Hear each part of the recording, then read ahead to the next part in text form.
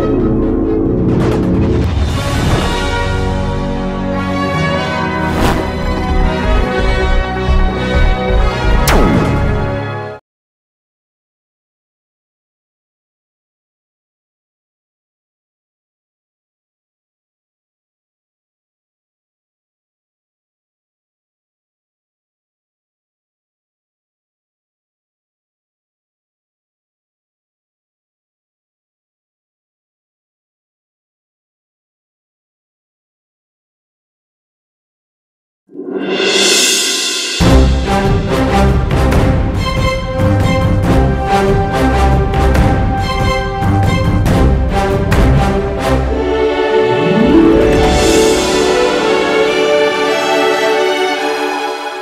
മഞ്ജു വാര്യർ.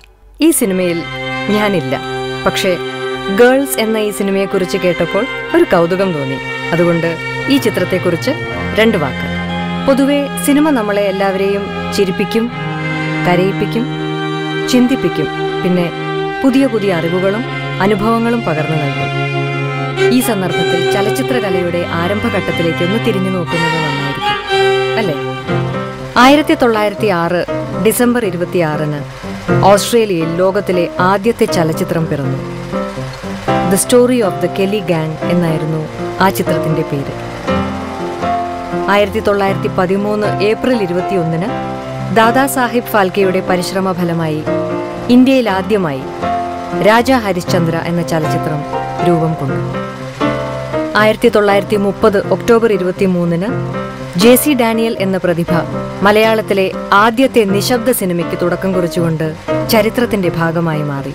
വിഗതകുമാരനായിരുന്നു ആ ചലച്ചിത്രം. അന്നു മുതൽ ഇങ്ങോട്ടുള്ള ചിത്രങ്ങൾ പരിശോധിച്ചാൽ കൃത്യമായി ഒരു നായക സങ്കല്പത്തോടെ തയ്യാറാക്കപ്പെട്ടവയാണ് എല്ലാം. എന്നാൽ നായകനില്ലാത്ത പുരുഷ കഥാപാത്രങ്ങൾ ഒന്നും തന്നെ ഇല്ലാത്ത ഒരു ചലച്ചിത്രം. എന്താ? കേട്ടപ്പോ എനിക്ക് തോന്നിയതുപോലെ ചെറിയൊരു കൗതുകം നിങ്ങൾക്കും തോന്നുന്നില്ലേ? ഇനി ഞാൻ കൂടുതൽ പറഞ്ഞാൽ ഈ സിനിമയുടെ സസ്പെൻസ് നഷ്ടപ്പെടും. അതുകൊണ്ട് നിങ്ങൾ തന്നെ കണ്ട് വിലയിരുത്തുക വിജയിപ്പിക്കുക.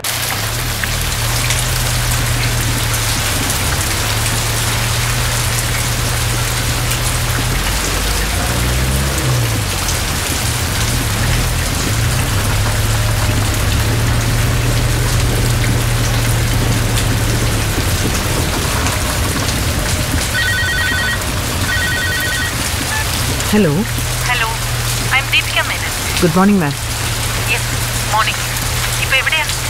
ഹെവി റെയിൻ വരുന്ന വഴിയിൽ റോഡ് ബ്ലോക്കായി ഇപ്പോൾ ക്രോസ് റോഡ് വഴിയാണ് പോകുന്നത്. ഓ how is Sophia she's okay ma'am very careful ഞാൻ പുറകെ ഉണ്ട്. Okay okay ma'am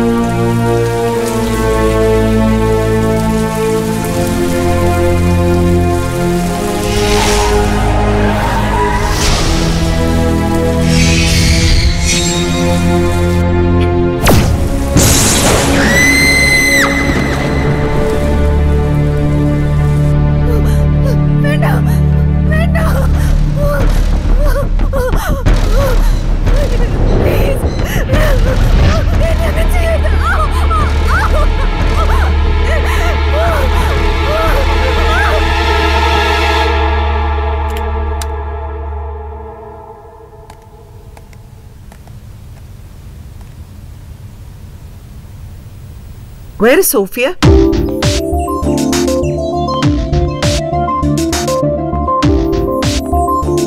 I saw your film.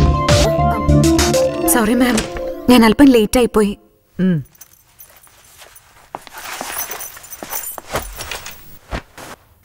ഏ എന്തായി? കണ്ടു കഴിഞ്ഞോ? എന്തു പറഞ്ഞു? കണ്ട് ത്രില്ലടിച്ചിരിക്കാ വെയിറ്റ് കോൺസെപ്റ്റ് ആരുടെയാ? എന്റെയാ മാഡം ഓഹോ good one second please yes ma'am ma'am ma'am ma'am വളരെ കഷ്ടപ്പെട്ട് കണ്ടെത്തിയ തീമാണ് മാം ഇത് സമൂഹത്തിൽ വർദ്ധിച്ചു വരുന്ന സ്ത്രീ പീഡനത്തിന് എതിരായ മെസ്സേജ് ആണ് മാഡം ഇത് ജനങ്ങൾ ഇത് കണ്ട് മനസ്സിലാക്കണം ഇത് കണ്ടെങ്കിലും സ്ത്രീകളോട് പുരുഷന്മാർക്ക് ഉണ്ടാവുന്ന വികാരം ഇല്ലാതാവട്ടെ സ്റ്റോപ്പ് ആ, ഇറ്റ് ഇത്രയും വേഴ്സ്റ്റ് ആയ ഒരു ഡിപ്ലോമ ഫിലിം ഈ ഇൻസ്റ്റിറ്റ്യൂട്ടിന്റെ ചരിത്രത്തിൽ ഉണ്ടായിട്ടില്ല ആ, മാം ഇതാണോ നിങ്ങൾ കഷ്ടപ്പെട്ട് കണ്ടുപിടിച്ച കോൺസെപ്റ്റ് വർഷങ്ങളായി പറഞ്ഞു പഴകിയതേ ഈ വിഷയം. എന്നും പത്രങ്ങളിൽ കാണുന്നതും ഇത് തന്നെ. അതെ പക്ഷെ ട്രീറ്റ്മെന്റിൽ ഞാൻ മാറ്റം വരുത്തിയിരുന്നു മാം അത് ശ്രദ്ധിച്ചു കാണില്ല. ഡയറക്ഷൻ ആണ് ഭയങ്കര വീക്കായി I want something different and unique അങ്ങനെ ഒരു വിഷയം നിങ്ങൾക്ക് കണ്ടെത്താൻ കഴിഞ്ഞില്ലെങ്കിൽ ഈ ഫീൽഡ് വിട്ടിട്ട് better go for some other option is it clear yes ma'am Sophia two weeks I give you two weeks അതിനകം നിങ്ങൾ പ്രോജക്ട് സബ്മിറ്റ് ചെയ്തിരിക്കണം. മനസ്സിലായോ? യെസ് മാം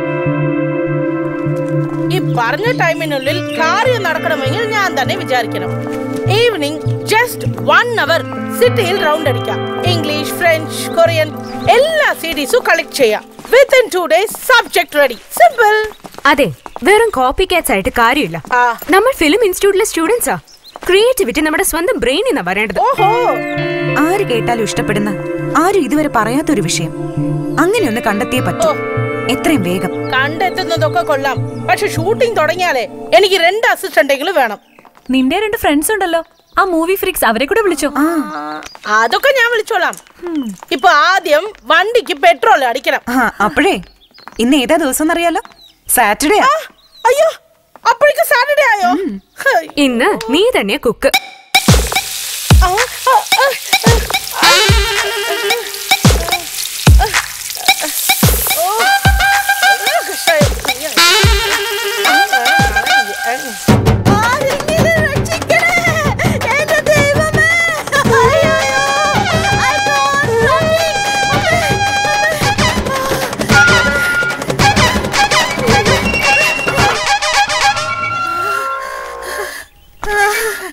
ദാ ഞാൻ ആരാണെന്നാടാ നീ വിചാരിച്ചത്? ചോണയുണ്ടെങ്കിൽ ഇവിടെ വാടാ. സുന്ദരിയായ സ്ത്രീകൾക്ക് വഴി നടക്കാൻ പറ്റുമെന്ന് ഞാനൊന്ന് നോക്കട്ടെ. വേൾഡ് വൈഡ് നൂറ്റുകണക്കിൽ ബോയ് ഫ്രണ്ട്സ് ഉള്ളവളാടാ ഞാൻ. അമേരിക്കയിൽ വെച്ചുകൂടെ എന്നെ തൊട്ടിട്ടില്ലടാ ഒരുത്തനും. പിന്നെയാ ഈ ചീൾ കേസ്.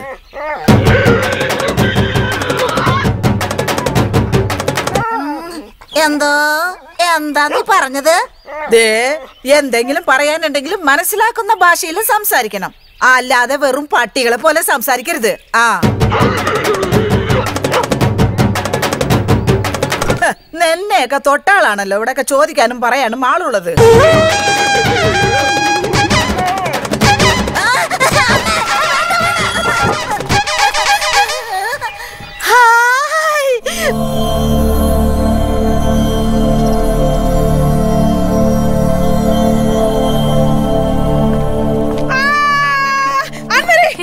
ബഹളം? എന്താ? പറ്റിയ.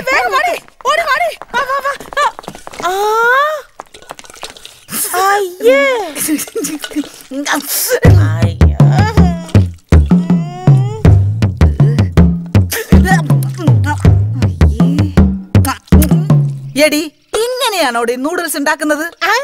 നൂഡിൽസോ അതിന് ഇത് ഉപ്പുമാവല്ലേ? ഉപ്പുമാവോ. അപ്പൊ നൂഡിൽസ് എങ്ങനെ ഉണ്ടാക്കുന്നത്? കൺഫ്യൂഷൻ.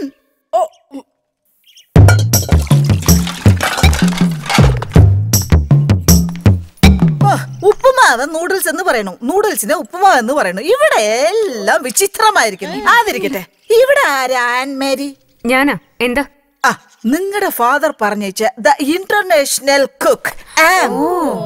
ഐറ്റം ഇതായിരുന്നോ? ഉപ്പുമാവ് നൂഡിൽസും തമ്മിൽ തിരിച്ചറിയാത്തൊരു സാധനം.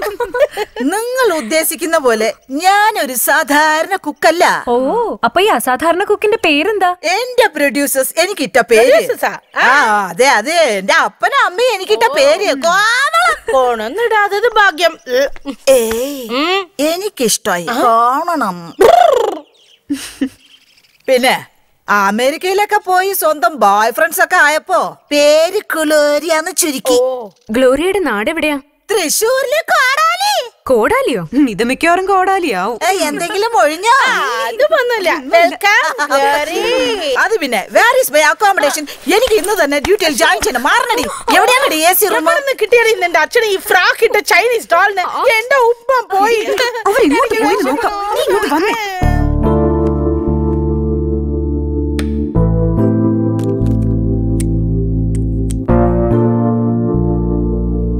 ഒരു കഥ. പലതരം ചിന്തകളിലൂടെ അനുഭവങ്ങളിലൂടെ ചിലപ്പോൾ വഴിയോര കാഴ്ചകളിലൂടെ.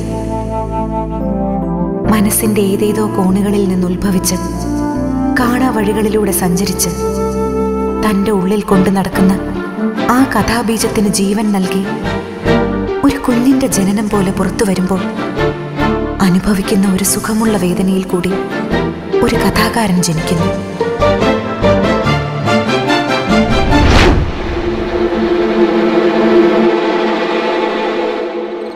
സ്റ്റോറി ലൈൻ പറ കേക്കട്ടെ. രണ്ടുപേരുടെ ജീവിതത്തെ ആസ്പദമാക്കിയുള്ള ഒരു പ്രണയകഥ. ഒരു അൺയൂഷ്വൽ സ്റ്റോറി ഓ ഇതാണോ അൺയൂഷ്വൽ സ്റ്റോറി ഒരുത്തനും മൂർത്തിയും തമ്മിൽ കാണുന്നു. കുറച്ചു കഴിയുമ്പോ പ്രേമം. മണ്ണാങ്കട്ട ഇവളെന്റെ ഉറക്കം കളഞ്ഞു. നിനക്ക് ഈ ക്ലീഷ്യ സബ്ജക്റ്റ് കിട്ടിയോളോ. ഏയ് ഇത് നിങ്ങൾ വിചാരിക്കും പോലെയുള്ള സ്റ്റോറിയൊന്നുമല്ല പിന്നെ? രണ്ട് പെൺ സുഹൃത്തുക്കൾ. അവർക്കിടയിൽ ഉണ്ടാവുന്ന ഇണക്കങ്ങളും പിണക്കങ്ങളും പരിഭവങ്ങളും.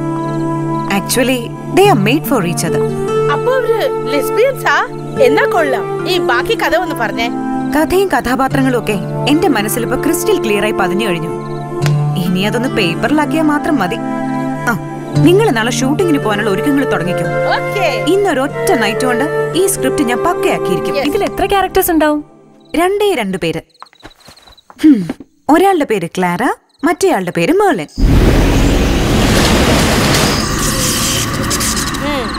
നല്ല ശകുനം. നീ എപ്പോഴും നെഗറ്റീവായി ചിന്തിക്കൂ. എല്ലാത്തിനെയും പോസിറ്റീവായി കാണണം. ഇരട്ടി നല്ല വെളിച്ചം ഉണ്ടാവുന്നത്.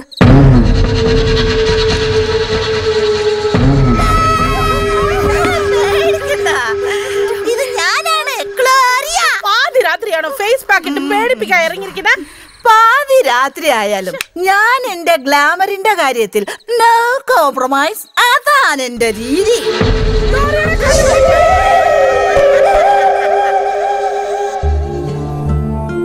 മഞ്ഞുമലകളിൽ പ്രഭാതകിരണങ്ങൾ പതിച്ചപ്പോൾ സ്വർണത്തിന്റെ നിറം തൂകി.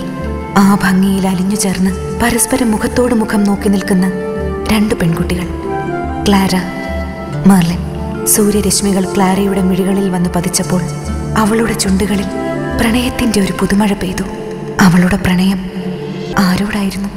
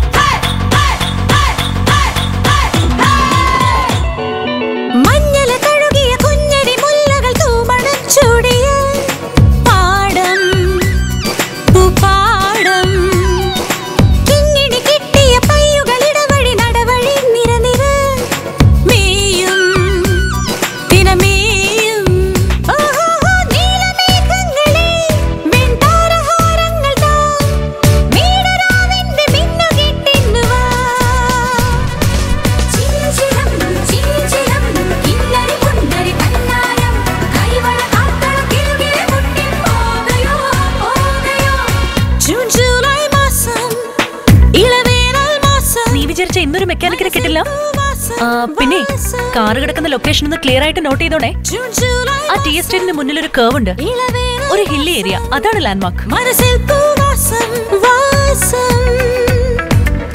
നാട്ടുമൈനകൾ മൂടുന്നു കൂട്ടുതേടി പായുന്നു. പന്തലിട്ടു ഹായ് ഹായ് നിങ്ങൾ ഇവിടെയുള്ളവരാ? അല്ല സിറ്റിന്നാ. ഷൂട്ടിന് വന്നതാ. Oh I M Rahana nature ഫോട്ടോഗ്രാഫറാ കുറച്ച് സ്നാപ്സ് എടുക്കാൻ വന്നതാ. ഡൽഹിയിൽ നെക്സ്റ്റ് വീക്ക് ഒരു കോമ്പറ്റീഷൻ ഉണ്ടേ. This is small camera. Yeah. But I'm big cameraman Soundarya. Okay. Anyways, mm, nice to meet you. Thank you. എന്താ ഇവിടെ എന്റെ കാറിന് ചെറിയൊരു പ്രോബ്ലം നിങ്ങൾ വരുന്ന വഴി വർക്ക്ഷോപ്പ് വല്ലതും കണ്ടിരുന്നോ ഇല്ല ഞങ്ങളൊന്നും ശ്രദ്ധിച്ചില്ല ഇവിടെ ഈ റിമോട്ട് ഏരിയയിൽ no chance oh my God ഇനി ഞാൻ എന്ത് ചെയ്യും? പിള്ളാരെ പുലി ഇറങ്ങുന്ന സ്ഥലവാ ഇന്നലെയും കൂടെ ഒരാളെ കൊണ്ടുപോയതേ ഉള്ളൂ റഹാന തൽക്കാലം വണ്ടി കയറ് ഇവിടുന്ന് രക്ഷപ്പെടാം. റഹന നോ പ്രോബ്ലം അയ്യോ അയ്യോ അയ്യോ കാൽ. അയ്യോ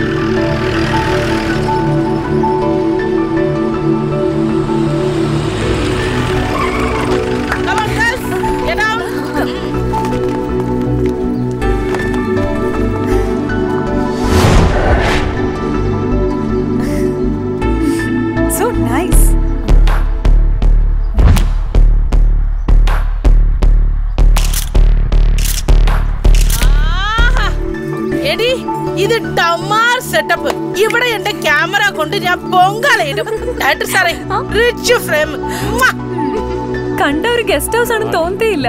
പണ്ടേത് സായിപ്പ് ലവർക്ക് ഗിഫ്റ്റ് ആയി കൊടുത്തതായിരിക്കും. എടി ആ സായിപ്പിന്റെ നമ്പർ ഒന്ന് കിട്ടോ? പോടി അത് ഞാനൊന്ന് ട്രൈ ചെയ്യട്ടെ. നെറ്റിലെ ഫോട്ടോ കണ്ടപ്പോ ഇത്രയും വിചാരിച്ചില്ല. ഇതിപ്പോ ശരിക്കും ഞെട്ടിച്ചു. യെസ് ഇറ്റ്സ് റിയലി നൈസ് എഴുതുമ്പോ ഞാൻ മനസ്സിൽ കണ്ട അതേ ലൊക്കേഷൻ പ്രണയദാഹിയായി ആകാശത്തെ തൊട്ടുരുമി നിൽക്കുന്ന മലകൾ. It's quite suitable for our story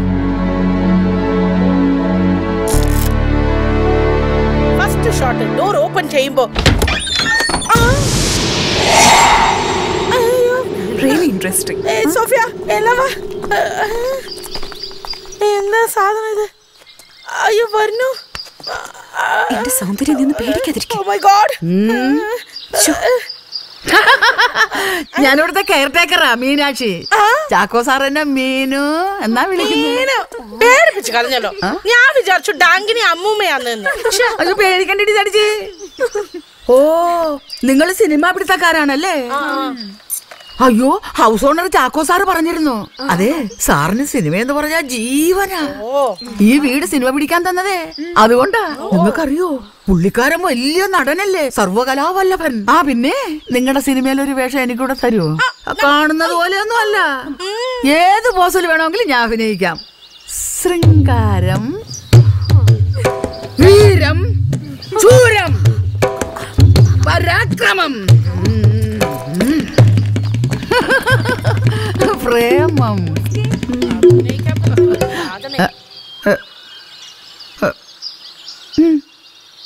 അഭിനയിക്കാൻ അറിയാവുന്നവരെയൊന്നും ഇപ്പൊ ആർക്കും വേണ്ട.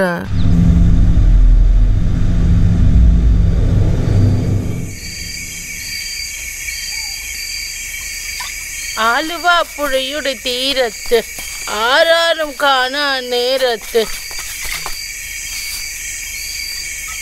ഇവിടെ അല്ല ഇവിടെ ഇല്ല ഇവിടെ ഇല്ല അല്ല അല്ല അവിടെ ആ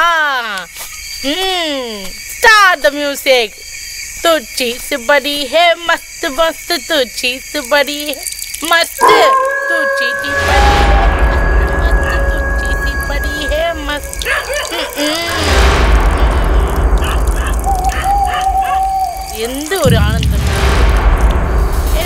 ആഹാ. പെടുക്കുമായിരുന്നോ ആഹ്, ആ. അപ്പോ മുട്ടയും വേണോ? അതോ മുട്ടയും അപ്പവും വേണോ?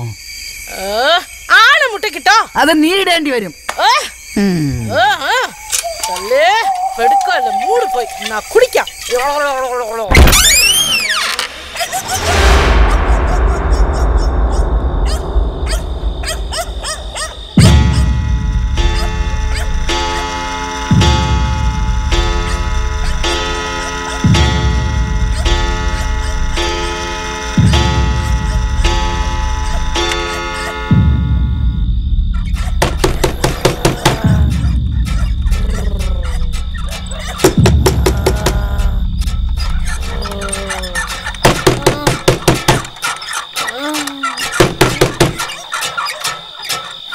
ശ്ശോ, ആരാ ഈ നേരത്ത്? ഉം.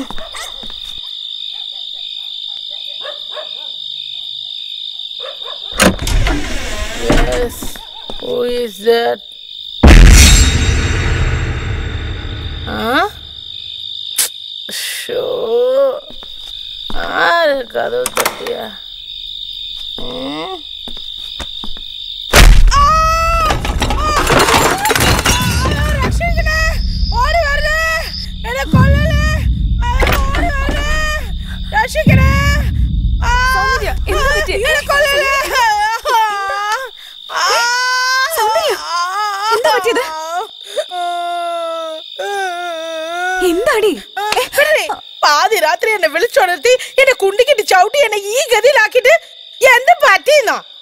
പറയുന്ന ഇവൾ?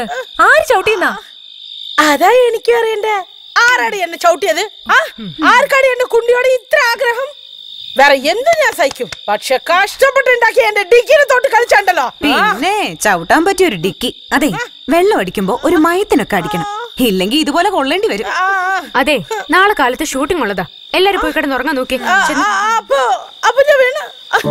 ഇവളുമാർ അല്ലെങ്കിൽ പിന്നെ ആ. ആരായിരിക്കും എന്നെ ചവിട്ടിയത്?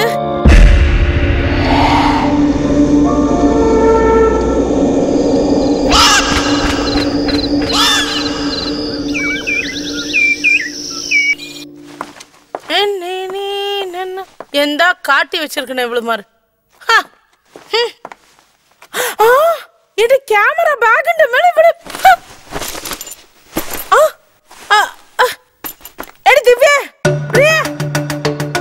എന്താ? എന്ത് പറ്റി? വാ വാ വാ വാ. ബാഗിൽ ഉണ്ടായിരുന്ന എന്റെ ക്യാമറ കാണാനില്ല.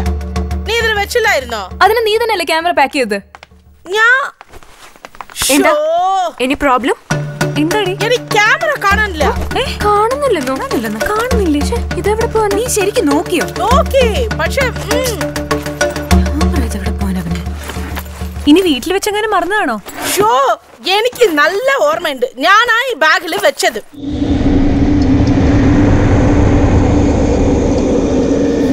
ബാഗിൽ വെച്ചെങ്കിൽ എവിടെ പോകാനോ ഇത്ര ഉറപ്പ് പറയുമ്പം.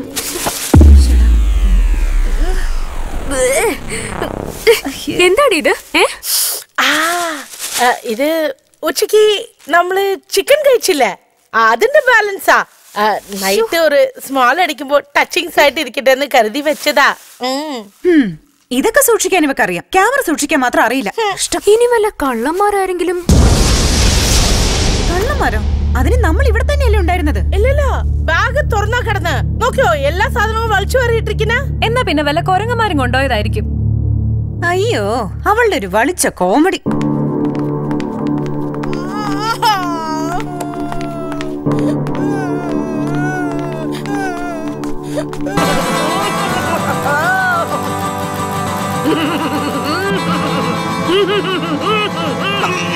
എന്റെ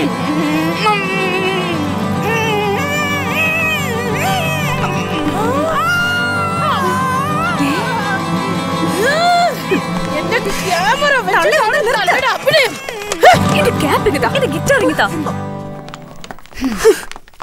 അയ്യോ എന്റെ ജാക്കറ്റ്. അഭിനയിക്കാൻ അറിയാം അറിയുന്നവര് ആർക്കും വേണ്ട. അതല്ലേ പറയാ വന്ന? നിന്നെ ഞങ്ങൾക്കും വേണ്ട. കറി മാറി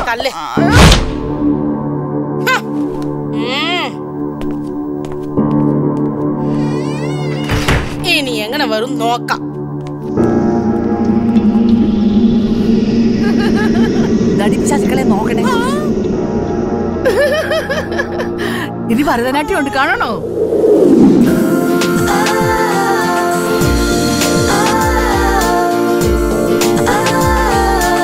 ഓക്കെ. ക്യാമറ ഇവിടെ വെക്കാം. ആ ജീപ്പ് ഇവിടെ വന്ന് സ്റ്റോപ്പ് ചെയ്യും. ഓക്കെ. കഷ്ടം. ഒരു ജീപ്പ് സ്റ്റാർട്ട് ചെയ്യാൻ പോലും അറിയില്ല അല്ലേ? ഞാൻ അപ്പോഴേ പറഞ്ഞതല്ലേ? എനിക്ക് ഡ്രൈവിംഗ് ഒന്നും അറിയില്ലെന്ന്. എടി നിന്നോട് ആകാശത്തേക്ക് റോക്കറ്റ് പറത്താനൊന്നും അല്ല പറഞ്ഞത്. എന്നാലും എനിക്കൊരു ടെൻഷൻ ഒന്നും പേടിക്കണ്ട. നീ കൂളായിട്ട് വണ്ടി എടുക്ക. ദേ ഞാൻ പറഞ്ഞതെല്ലാം ഓർമ്മയുണ്ടല്ലോ? ആ ദേ ഇതാ ബ്രേക്ക് അത് മാത്രം നീ മറക്കണ്ട. ഓക്കെ ഓക്കെ ഓക്കെ പ്രിയ നിന്റെ ക്യാരക്ടർ മേളിനാ കക്ഷി ഭയങ്കര ബോൾഡാ അതുപോലെ സോഫ്റ്റും നീ അവിടെ നടന്നു വരണം. ആ ജീപ്പ് ഇവിടുന്ന് വരും. നീ കൈ കാണിച്ചു നിർത്തണം. സൗന്ദര്യ നീ ക്യാമറ ഫോക്കസ് ചെയ്തോ? ഫോക്കസ് ചെയ്തോണ്ടേ ഇരിക്കാ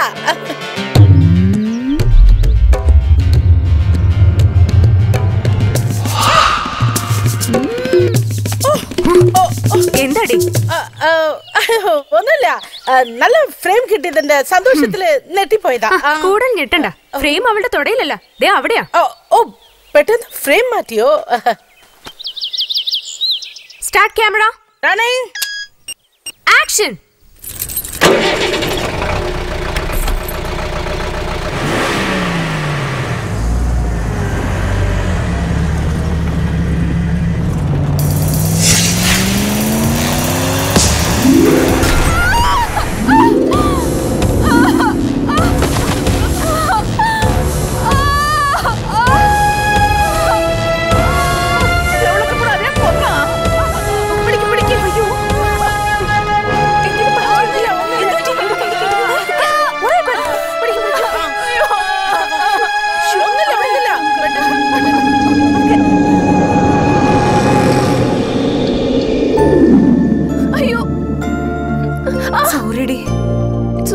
ഇപ്പൊ ഇതിനൊക്കെ ഞാൻ വേണോ അല്ലേ?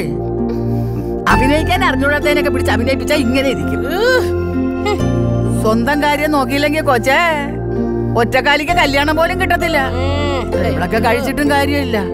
ഓ ദൈവഭാഗ്യം ഒന്ന് കരുതാ മതിയല്ലോ. ഇത്രയല്ലേ പറ്റിയുള്ളൂ. ഓക്കെ. എന്താടി? അവൾ വരുമോ എവിടെ? അവൾ ഡേറ്റിംഗിലാണ് ആ കഞ്ചാവ് ചെക്കനുമായിട്ട് ഗോവയിലാ. ആ അപ്പൊ നമ്മുടെ കാര്യം? പറയാൻ വരട്ടെ. ഞാൻ അപർണയെ വിളിച്ച് പറഞ്ഞിട്ടുണ്ട്. പക്ഷെ എപ്പ എത്തൂന്നറിയില്ല. എടി ദിവ്യ നിനക്ക് പറ്റൂടി? അയ്യോ എന്നെ വിട്ടേക്ക്. തങ്കക്കട്ടി ഞാൻ ഇവിടെ ഇരിക്കുമ്പോ കാക്കപ്പൊന്നിന് വേണ്ടി അലയുന്നു. അയ്യോ. എന്തായാലും എത്രയും പെട്ടെന്ന് നീ വണ്ടി ഇവിടെ എത്തിക്കാൻ നോക്ക്. അഡ്രസ് ഒക്കെ ഓർമ്മയുണ്ടല്ലോ? Okay bye. വണ്ടിക്ക് ചെറിയൊരു എഞ്ചിൻ ട്രബിൾ. റെഡിയാവാൻ രണ്ടു ദിവസം കൂടി ആവുന്നു. അപ്പൊ രണ്ടു ദിവസം കൂടെ നിങ്ങൾക്ക് എന്നെ സഹിക്കേണ്ടി വരും. ഞങ്ങളുടെ നായികയല്ലേ? സഹിച്ചോളാം. നായികയോ?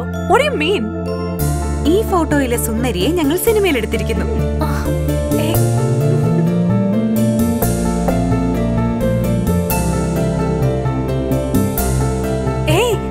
ഇത് ഞാൻ വെറുതെ തമാശയല്ല.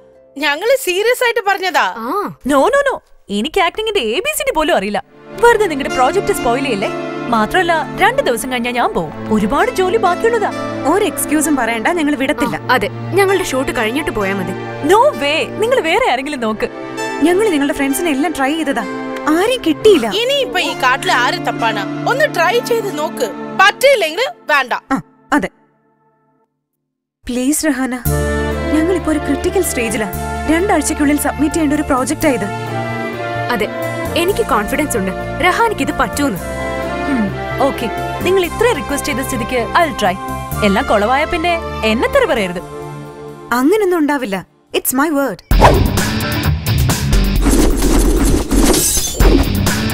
ആക്ഷൻ ഈ വിവാഹത്തിന് ഞാൻ സമ്മതിക്കില്ല. സ്റ്റോപ്പ് ഇറ്റ് ക്ലാര ഞാൻ ഓ sorry I forgot it's okay cool Rahana once more once more please okay will start action ഈ വിവാഹത്തിന് ഞാൻ സമ്മതിക്കില്ല. സ്റ്റോപ്പ് ഇറ്റ് ക്ലാര നീ പറഞ്ഞൊക്കെ നിന്റെ ഓ sorry girls I just can do it wait okay ഞാൻ പറഞ്ഞതല്ലേ? ഇതൊന്നും എന്നെ കൊണ്ട് പറ്റുന്ന പരിപാടിയല്ലെന്ന്?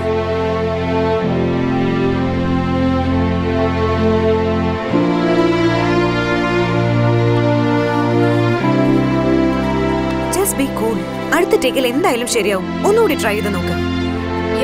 പ്ലീസ് ഓക്കെ ഇതിൽ ശരിയല്ലെങ്കിൽ എന്നെ എന്റെ പാട്ടിന് വിട്ടേക്കണം. ഓക്കെ ഡൺ ആക്ഷൻ ഈ വിവാഹത്തിന് ഞാൻ സമ്മതിക്കില്ല. സ്റ്റോപ്പ് ഇറ്റ് ക്ലാര നീ പറയുന്നൊക്കെ നിന്റെ മാത്രം ഫീലിംഗ്സാ അതൊന്നും ഒരിക്കലും എനിക്ക് ആക്സെപ്റ്റ് ചെയ്യാൻ പറ്റില്ല. ഒരു കല്യാണം കുടുംബം കുട്ടികൾ ഏത് പെണ്ണ ഇതൊക്കെ ആഗ്രഹിക്കാത്തത്? നീ അങ്ങനെ ആലോചിച്ച് നോക്ക്. അപ്പോഴേ നിന്റെ ഈ ആറ്റിറ്റ്യൂഡ് മാറൂ. അല്ലാതെ വെറുതെ നിന്റെ ഈ പൊസസീവ്നെസ് അതാണ് എല്ലാ പ്രശ്നങ്ങൾക്കും കാരണം. ആരോട് മിണ്ടാൻ പാടില്ല ഫോൺ ചെയ്യാൻ പാടില്ല. ഇത്ര മാത്രം എന്റെ ലൈഫിൽ കയറി ഇന്റർഫിയർ ചെയ്യാൻ നീ എന്റെ ആരാ? എന്റെ ഗാർഡിയനോ അതോ ജസ്റ്റ് ടോളറേറ്റ് ഇറ്റ് ആ, ആ, എനിക്ക്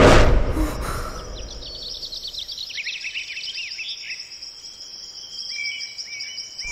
ആടിച്ചിട്ട് ഓടിക്കുന്നത് ഈ സീനിൽ നമുക്ക് നല്ലൊരു ഹൊറർ എഫക്റ്റ് കിട്ടണം ഓക്കെ എന്താ വഴി? ആ ബാക്ക്ഗ്രൗണ്ടിൽ സ്മോക്ക് എഫക്ട് കൊടുത്താലോ ഈ കാട്ടിൽ എവിടുന്നാടി സ്മോക്ക് എഫക്റ്റ് ഹ, അതിനൊക്കെ ഈ സൗന്ദര്യയുടെ കയ്യിൽ വഴിയുണ്ട്. ആ.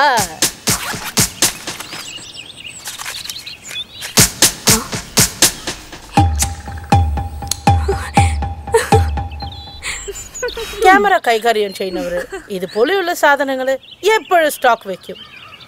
വേറെ ഒരു സാധനം ഉണ്ട് കേക്കണോ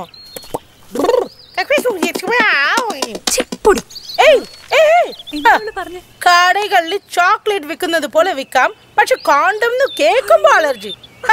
വെരി ബാഡ് സൊസൈറ്റിയാ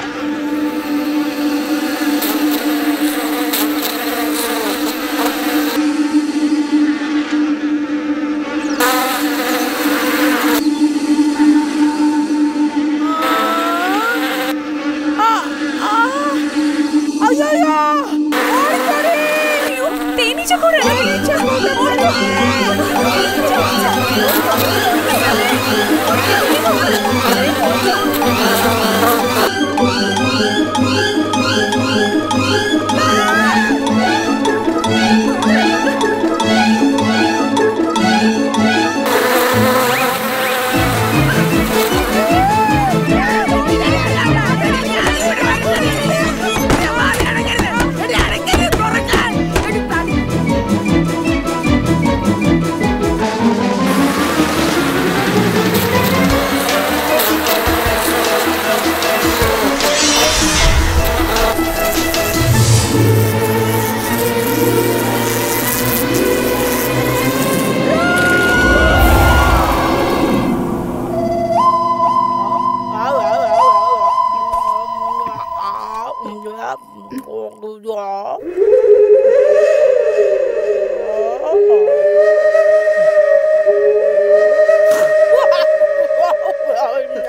ഇത് കൊള്ളാം മേക്കപ്പ് ഇല്ലാണ്ട് തന്നെ ഈ മുഖത്ത് ശൃംഗാരം വീരം ധീരം എല്ലാം ഉണ്ടല്ലോ എന്റെ അടുത്ത പടത്തിൽ മീനാക്ഷിയാണ് ഹീറോയിൻ തേനീച്ച കൊത്തിയ തേനി തള്ള ആ വേഷം നിന്റെ അമ്മയ്ക്ക് കൊണ്ട് കൊടുത്താ മതി.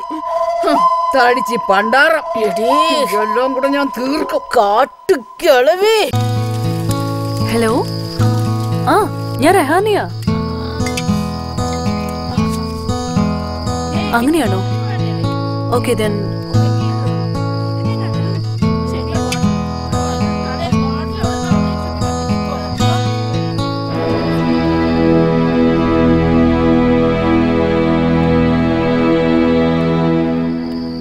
ഞാൻ വന്നപ്പോ മുതലേ ശ്രദ്ധിക്കുക you are affected by something any problem ഇപ്പൊ എന്റെ അച്ഛനും അമ്മയും തന്നെയാ എന്റെ പ്രോബ്ലം ആരുടെ ഈഗോയെ ജയിക്കുന്നതിനുള്ള ഒരു കോമ്പറ്റീഷൻ നടക്കുക അവർ തമ്മിൽ. വെള്ളത്തിൽ വരച്ച വരാന്നൊക്കെ പറയാറില്ലേ? ഏതാണ്ട് അതുപോലെയാ ഇപ്പൊ എന്റെ ലൈഫ് ഇങ്ങനൊരു മകൾ ഉണ്ടെന്നുള്ള വിചാരം പോലും അവർക്കില്ല. ഡൈവോഴ്സിന് വേണ്ടിയുള്ള മത്സരത്തിലാ അവരിപ്പോ. ആര് ജയിച്ചാലും തോൽക്കുന്നത് ഞാനാ. ഏയ് ഇങ്ങനെ അങ്ങ് ഡൗൺ ആയാലോ? ലൈഫിൽ ആർക്കാ പ്രോബ്ലംസ് ഇല്ലാത്തത്? അധികം ആരും അത് വെളിയിൽ കാണിക്കുന്നില്ല. അത്രേ ഉള്ളൂ. ശരിക്കും പറഞ്ഞ നമ്മളൊക്കെ ടൂറിസ്റ്റുകളെ പോലെയാ. ദൈവമാണ് നമ്മുടെ ട്രാവൽ ഏജന്റ് പുള്ളിക്കാരൻ ഓൾറെഡി നമ്മുടെ റൂട്ടും ഡെസ്റ്റിനേഷനും ഒക്കെ ചാർട്ട് ചെയ്ത് കഴിഞ്ഞു. അതുകൊണ്ട് ലൈഫ് എന്ന ജേർണി മാക്സിമം എൻജോയ് ചെയ്യാം.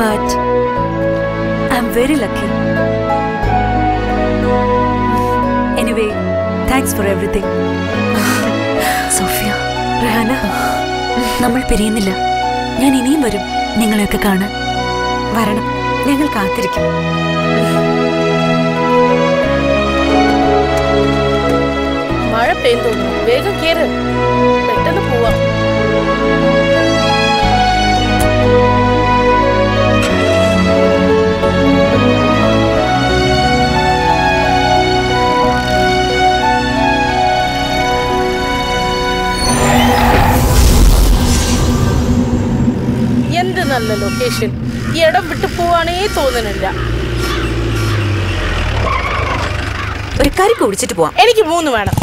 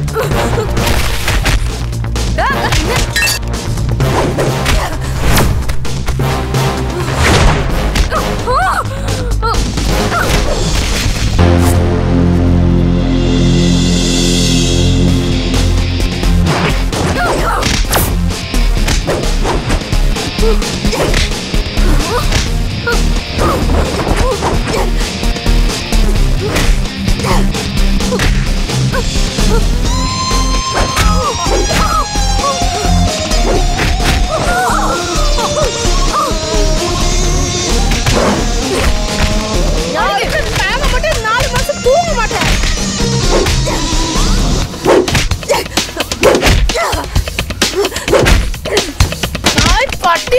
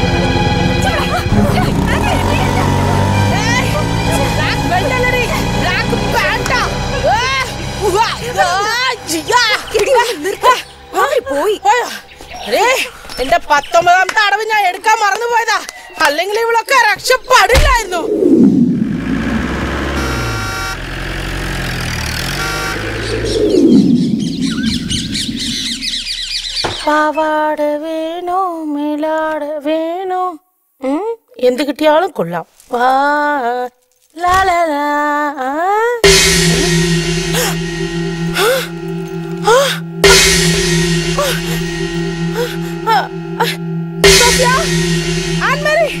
യാത്ര കഴിഞ്ഞ് വന്നതേ ഉള്ളൂ ഒന്ന് കിട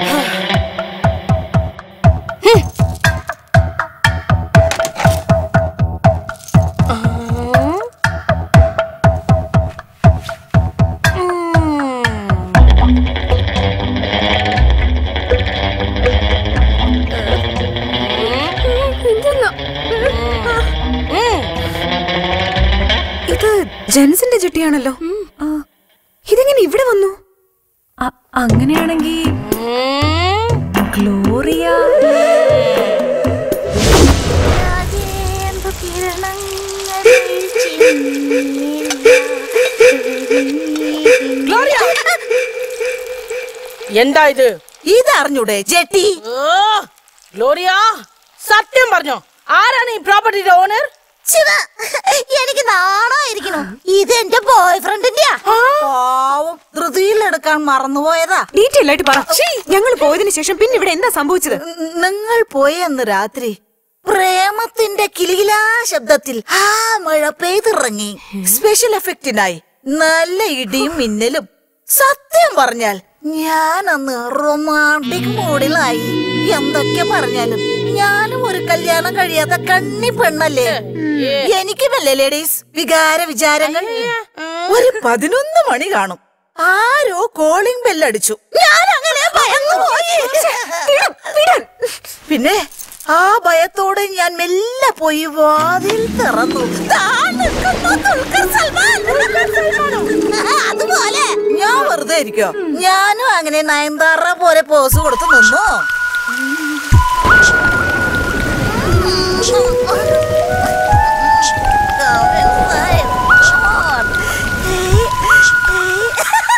ആദ്യം ഞങ്ങൾ സോഫയിലിരുന്ന് അങ്ങനെ പോറടി മാറ്റി. പിന്നെ പതുക്കെ പതുക്കെ പതുക്കെ കെട്ടി മതി മതി കൂടുതൽ വിസ്തരിക്കണ്ട. ജോലി വല്ല ഉണ്ടെങ്കിൽ ചെയ്യാൻ നോക്ക്. ഇനി എന്നാ നിങ്ങക്ക് ഷൂട്ടിങ് നാളെ തന്നെ ഇതിനെ ഇവിടുന്ന് പാക്കപ്പ് ചെയ്യണം. നയൻതാര വന്നിരിക്കുന്നു. നയൻ താരയല്ല ഫ്രോക്ക് ഇട്ട താരം. ഓവും എന്റെ ദുൽഖർ സൽമാൻ. ആയ്, എന്തൊരു സുഖം. ഈ വിവാഹത്തിന് ഞാൻ സമ്മതിക്കില്ല. സ്റ്റോപ്പ് ഇറ്റ് ക്ലാര നീ പറയുന്നൊക്കെ നിന്റെ മാത്രം ഫീലിംഗ്സാ അതൊന്നും ഒരിക്കലും എനിക്ക് എന്റെ ഫ്രെയിം ആണ് ബ്യൂട്ടിഫുൾ കല്യാണം കുടുംബം കുട്ടികൾ. ഇപ്പത്തെ ഒന്ന് പ്രിയക്ക് അഭിനയിക്കാൻ പറ്റാതെ വന്നത് നന്നായിന്ന്. ആലോചിച്ച് നോക്ക്. രഹാനെ കിട്ടിയില്ലായിരുന്നെങ്കിൽ നമ്മുടെ പ്രോജക്റ്റ് ആയേനെ അത് ശരിയാ. നിന്റെ ഈ പൊസസീവ്നെസ് അതാണ് എല്ലാ പ്രശ്നങ്ങൾക്കും കാരണം. ആരോടും മിണ്ടാൻ പാടില്ല ഫോൺ ചെയ്യാൻ പാടില്ല. ഇത്ര മാത്രം എന്റെ ലൈഫിൽ കയറി ഇന്റർഫിയർ ചെയ്യാൻ നീ എന്റെ ആരാ? എന്റെ ഗാർഡിയനോ അതോ? ടോളറേറ്റ് ഇറ്റ് അപ്പോ എന്താ ഫ്രെയിം എന്റെ ക്യാമറ വർക്ക് നല്ലതായതുകൊണ്ട് ഇവൾ രക്ഷപ്പെട്ടു. അല്ലാടി ജ്യോതി. നമുക്ക് ഒരുമിച്ച് സന്തോഷമായിട്ട് ജീവിക്കാം. പ്ലീസ് ഗെറ്റ് ലോ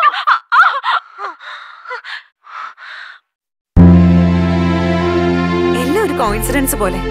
റഹാനെ നമ്മൾ പരിചയപ്പെടാനും അവൾ നമ്മുടെ കഥാപാത്രമായി മാറാനും. നമ്മൾ വിചാരിച്ചതിനപ്പുറമല്ലേ അവൾ പെർഫോം ചെയ്തത്? എടി ഒരു നല്ല ഡയറക്ടറുടെ കയ്യിൽ കിട്ടിയ ഏതൊരു ആർട്ടിസ്റ്റും അറിയാതെ അങ്ങ് പെർഫോം ചെയ്ത് പോവും. ഹലോ എല്ലാം ഭംഗിയാ ഒപ്പിയെടുക്കാനേ ഇതുപോലത്തെ ശക്തമായ കൈകൾ അതിന് പിന്നിലുണ്ടാവണം. എനിക്ക് ഉറക്കം വരുന്നു. ബാക്കി നാളെ കാണാം.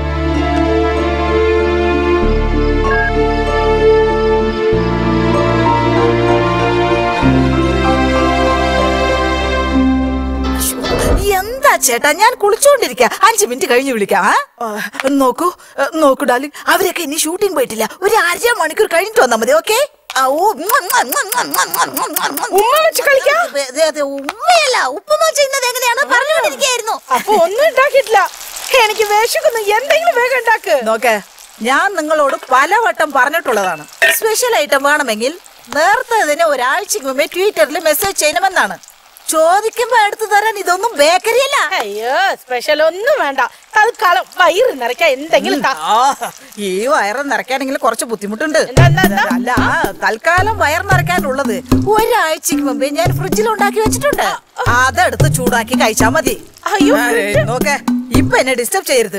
ഞാൻ ഇറ്റാലിയൻ എഗ് ഗുലാഫി എങ്ങനെ ചെയ്യണമെന്ന് പഠിച്ചുകൊണ്ടിരിക്കുകയാണ് അത് നിന്നെ കൊണ്ട് തീറ്റിച്ച് നീ ചത്തില്ലെങ്കിൽ എന്നിട്ട് കൺഫേം ചെയ്ത് ഞാൻ കഴിക്കും. തൽക്കാലം ഒരു ഓംലെറ്റ് ഉണ്ടാക്കി കാണിക്കുന്നത് ഈ ഉണ്ടപ്പോത്തിന് ഈ മുട്ട എവിടെ ചെല്ലാം? ഓ മുട്ട പൊട്ടിക്കുന്ന ഒരു സ്റ്റൈലേ. ഈ മുട്ടയും വഴിയായിട്ട് പണി കഴിഞ്ഞു. ഏ അതിങ്ങട്ടാ ഈ എന്താടി പേപ്പർ തിന്നാൻ പോണോ? കഴുതപ്പണി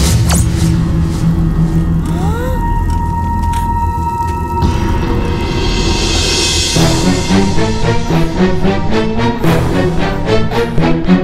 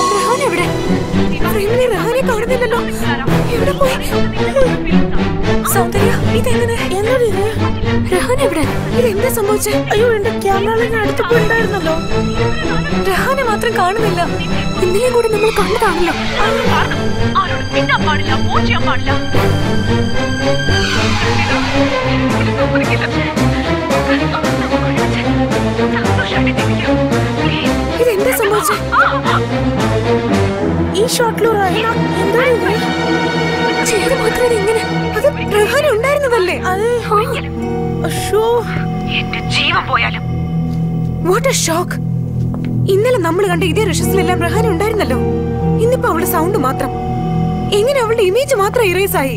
ഒരുപക്ഷെ ഈ രഹാന തന്നെ ആയിരിക്കും മേൾ? അത് ചിലപ്പോ നമ്മുടെ ഒരു ഹാലുസിനേഷൻ മാത്രമാണെങ്കിലോ. അതൊന്നും അല്ല ഷോ അന്ന് ആരും എന്നെ ചവിട്ടി തള്ളിയിട്ടു എന്ന് പറഞ്ഞപ്പോ നീയൊക്കെ അന്ന് സമ്മതിച്ചില്ലല്ലോ. ഇത് നോക്കിയേ മെർലിന്റെ ആത്മാവ് രഹണയായിട്ട് വന്നതായിരിക്കും.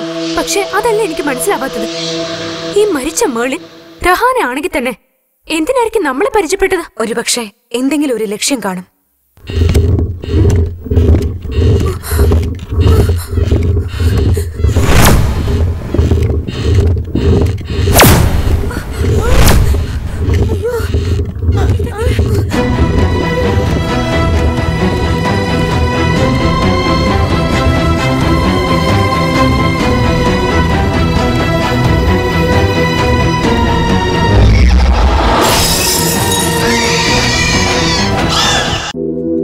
അതെ ഞാൻ പറഞ്ഞില്ലേ? ചെറിയൊരു പ്രോബ്ലം ഉണ്ട്. ഞാൻ ട്രൈ ചെയ്യുന്നുണ്ട്. എന്തെല്ലാം പ്ലാൻ ചെയ്തതാ? എല്ലാം തകർന്നില്ലേ? I'm fed up. ഞാൻ ഇതെല്ലാം നിർത്തിയിട്ട് നാട്ടിൽ പോവാ. ഏ നീ വെറുതെ ഞങ്ങളെ കൂടി ടെൻഷൻ ആക്കല്ലേ? ഇപ്പൊ നമുക്ക് വേണ്ടിയത് കുറച്ച് മനസ്സമാധാനം. അല്ലാതെ വെറുതെ. പത്രത്തിൽ ഒരു ഫോട്ടോ വന്നെന്ന് വെച്ച് നമ്മൾ വെറുതെ ടെൻഷൻ ആവണ്ട. അത് രഹാനയാണെന്ന് എന്താ ഉറപ്പ്? ഒരു പക്ഷെ അവർ ട്വിൻസ് ആണെങ്കിലോ? ആ അത് ശരിയാ. ചിലപ്പോ രഹനയും മെർലിനും ട്വിൻസ് ആയിരിക്കും. എങ്കിൽ നമ്മൾ ഷൂട്ട് ചെയ്ത റഷസിൽ റഹാനയുടെ ഇമേജ് പതിയാത്തത് എന്താ? ഇനി ടെക്നിക്കൽ എറർ മറ്റോ ആണോ? നോ നെവർ അങ്ങനെയാണെങ്കിൽ റഷ്യസിൽ സോഫിയുടെ ഇമേജോ ഇൻവെസിബിൾ ആവേണ്ടതല്ലേ? അതെ അതെ എനിക്ക് മനസ്സിലാവാത്തത്. അപ്പൊ രഹാന ഇനി വല്ല പ്രേതോ ആത്മാവോ ആണോ? ഒരുപക്ഷെ അങ്ങനെ ആയിക്കൂടാന്നില്ലല്ലോ. എത്രയോ കേസുകൾ അങ്ങനെ റിപ്പോർട്ട് ചെയ്യപ്പെട്ടിട്ടുണ്ട്. എനിക്ക് അതല്ല സങ്കടം. ഞാൻ എടുത്ത എത്ര നല്ല നല്ല ഷോട്ട്സാ വെറുതെ ആയ. ഹേ, നമ്മുടെ പ്രോജക്ടിന്റെ ലാസ്റ്റ് ഡേ സബ്മിഷൻ നാളെയല്ലേ? ഇനിയിപ്പോ നമ്മൾ എന്ത് ചെയ്യും? നമുക്ക് രണ്ടാഴ്ചത്തെ എക്സ്റ്റൻഷൻ ചോദിച്ചാലോ? അങ്ങോട്ട് ചെന്നാ മതി. ഇപ്പൊ കിട്ടും. പിന്നെ ഒരു ഇഷ്യൂന്റെ പേരിൽ നമ്മൾ നമ്മുടെ കരിയർ സ്പോയിൽ ചെയ്യണോ? എനിക്കൊന്നും അറിയില്ല. ഐ എം ടോട്ടലി കൊലാപ്സ് ഓ നാളെ കുറിച്ച് ചിന്തിച്ച് ടെൻഷൻ ആവാതെ ഇന്ന് അടിച്ചു പൊളിക്കാൻ നോക്കാം. ഈ ടെൻഷൻ ഒന്ന് മാറ്റാൻ നമ്മൾ നമ്മളിപ്പോ ഒരു സിനിമയ്ക്ക് പോകുന്നു. ബോറടി മാറ്റാൻ എന്ന് പറഞ്ഞു പോയി കണ്ടത് പ്രേത സിനിമ. എല്ലാത്തിനും കാരണം ഇവളാ. തടിച്ചു. സൗണ്ട് സൈഡ് പെർഫെക്റ്റ് ആയിരുന്നു. ഒരു കോപ്പ് പടം. നീയല്ലേ പറഞ്ഞത്? ഇത് കിടല മൂവിയാണെന്ന് ട്രെയിലർ കണ്ടപ്പോ കിടലം തോന്നി. ഇതാ പറയുന്നത്. ട്രെയിലർ കണ്ടൊന്നും ജഡ്ജ് ചെയ്യരുത് കളക്കി ക്യാമറ പടുപോർ ഞാനാണെങ്കിൽ പൊളിച്ചേ. പിന്നെ?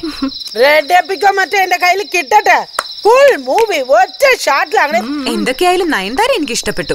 അവൾക്ക് നമ്മുടെ ആ റഹാനയുടെ ഒരു കട്ടില്ലേ? അ,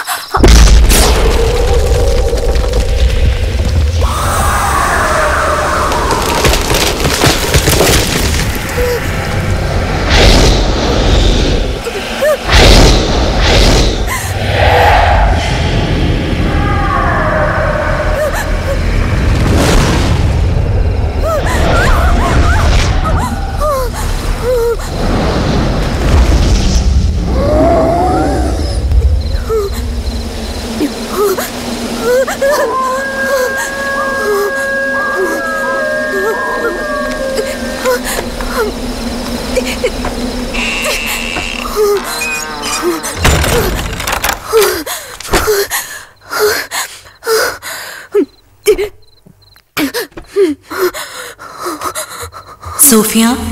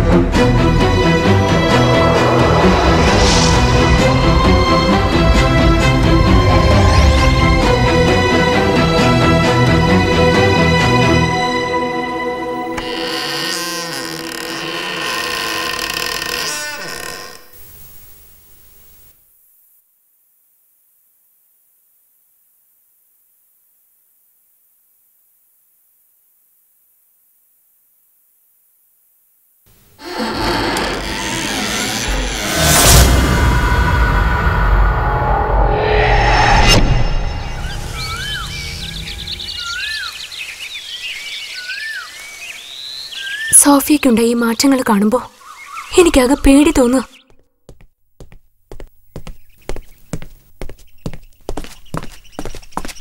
ചച്ചടായ്.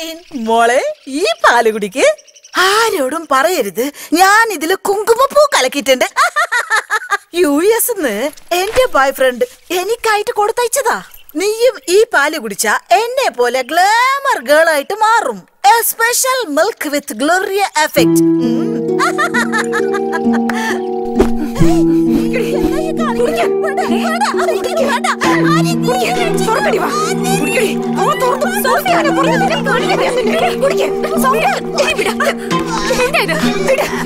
ചായ ചോദിച്ചപ്പോ പാൽ കൊണ്ടുവന്നിരിക്കുന്നു പാലാണ് ചോദിച്ചത്. ഞാൻ സ്നേഹത്തോട് പാൽ കൊണ്ടത് കൊടുത്തപ്പോ എന്നെ അങ്ങനെ കെട്ടിപ്പിടിച്ചു. ഞാൻ വിചാരിച്ച ഉമ്മ തരാനാണെന്ന്. കഴുത്തി കയറി പിടിച്ചപ്പോഴാണ് അറിഞ്ഞത്. എനിക്ക് പാൽ തന്ന മേലെ പറഞ്ഞയക്കാനാണെന്ന്. എത്രയും പെട്ടെന്ന് ഇവരെ ഇവിടുന്ന് പറഞ്ഞു. സോഫിയ നീ ഇത് എങ്ങോട്ട് പോവാ? എന്റെ വീട്ടിലേക്ക്. എന്താ ഇനി അതിന് നിങ്ങളുടെയൊക്കെ പെർമിഷൻ വേണോ? നിക്ക് നീ ഒറ്റയ്ക്ക് പോണ്ട. ഞാൻ ഡ്രോപ്പ് ചെയ്യാം. സോഫിയ എന്തിനാ പാവത്തിന് വിണ്ടു പോരുത്? പാൽ ചോദിച്ച് പാൽ കൊടുത്തപ്പോ ചായ വേണമെന്ന് പറയണു ഇവിടെ എല്ലാം ഒരു വിചിത്രമായിരിക്കണല്ലോ.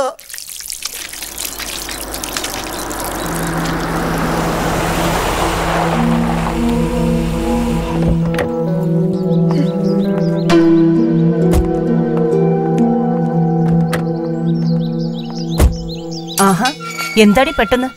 ഇന്നലെ ഞാൻ വിളിച്ചപ്പോ നീ വരുന്ന വിവരമൊന്നും പറഞ്ഞില്ലല്ലോ. ആ ഇന്നെനിക്ക് വരണമെന്ന് തോന്നി ഞാൻ വന്നു. എപ്പോഴും വിളിച്ചു പറഞ്ഞിട്ട് വരണമെന്നൊന്നുമില്ലല്ലോ. വാ അന്മേരി അകത്തോട്ടിരിക്കാം. ഞാൻ വിളിച്ചതാ. അവൾക്ക് അത്യാവശ്യമായിട്ട് എവിടെയോ പോകാനുണ്ടെന്ന് പറഞ്ഞു. അപ്പോ നിന്റെ ഡ്രൈവറായിട്ട് വന്നതാണല്ലേ? ഓ അത് സാരയില്ലാണ്ടി ദാ കിടക്കുന്നു വരണം പൊടിയും പിടിച്ച്. ഇതൊന്ന് ചൊവ്വേ പഠിച്ചിരുന്നെങ്കിൽ ഈ ആൻമേരിയെ ശല്യപ്പെടുത്തേണ്ട വല്ല കാര്യം ഉണ്ടായിരുന്നു നിനക്ക്? എന്നാ ഞാൻ പോയിട്ട് വരട്ടെ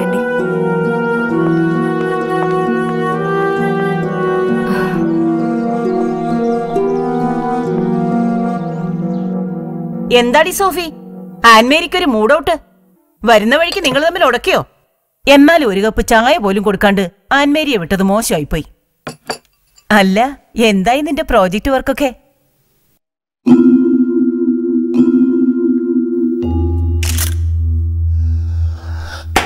എന്താടി ഇത്? ഓരോ ദുശീലങ്ങൾ പഠിച്ചു വെച്ചിരിക്കുന്നു. സമയത്ത് എന്തെങ്കിലും കഴിക്കണോന്ന് പറഞ്ഞാ കേക്കില്ലല്ലോ. ഇരിക്കുന്നു കോലം കണ്ടില്ലേ? ഓ തുടങ്ങി. അമ്മമാരുടെ സ്ഥിരം ക്ലീഷേ ഡയലോഗ്. വാചകമൊക്കെ പിന്നെ. ദേ വായിലിരിക്കുന്ന തുപ്പി കളഞ്ഞിട്ടെ ഇതെടുത്ത് കഴിക്കാൻ നോക്ക്. കുറച്ച് ബീഫ് ഒലുത്തിയതിങ്ങ എടുത്ത്. ബീഫോ? എന്നു മുതലാ നീ ഇതൊക്കെ ഉപയോഗിക്കാൻ തുടങ്ങിയത്. നോൺ വെജ് എന്ന് കേൾക്കുമ്പോഴേ നിനക്ക് അലർജി ആയിരുന്നല്ലോ. ദേ നിനക്ക് ഇഷ്ടപ്പെട്ട മാമ്പഴ പുളിശ്ശേരി ഉണ്ടാക്കിയിട്ടുണ്ട്. ആര് പറഞ്ഞു എനിക്ക് ഇഷ്ടമാണെന്ന് ഇത്?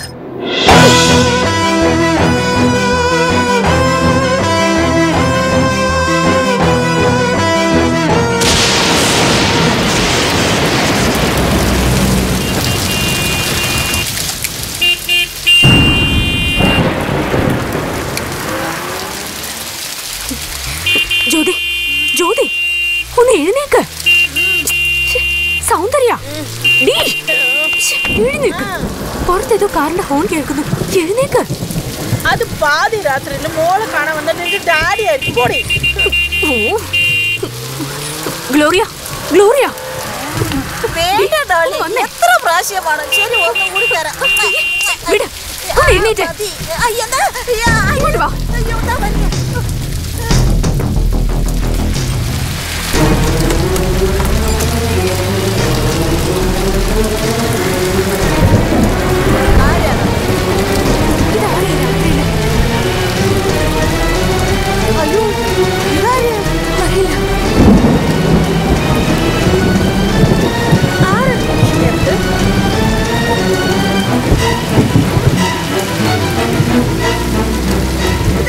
ആ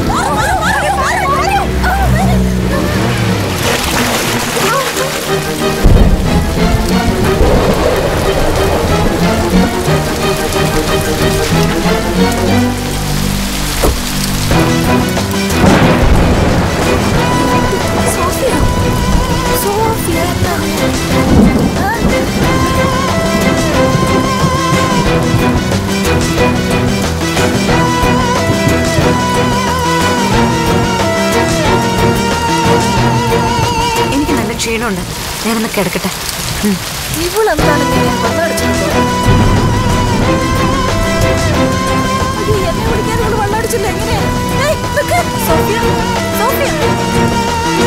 സോഫിക്ക് ഇത് എന്താ പറ്റിയ? വാ. സൗന്ദര്യ? ഏയ്. സൗന്ദര്യ. Good morning.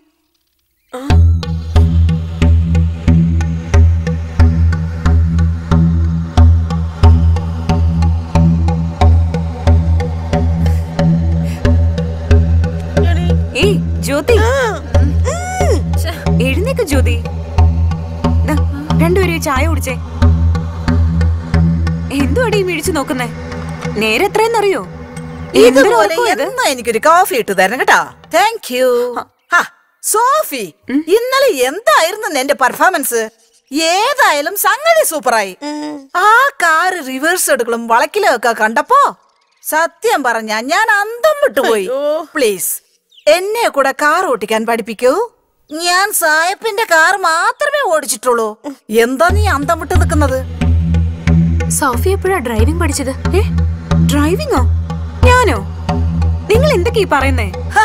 അപ്പോഴേക്കും എല്ലാം മറന്നോ. ഇന്നലെ രാത്രി സോഫിയ അല്ലേ കാർ ഓട്ടിച്ചത്?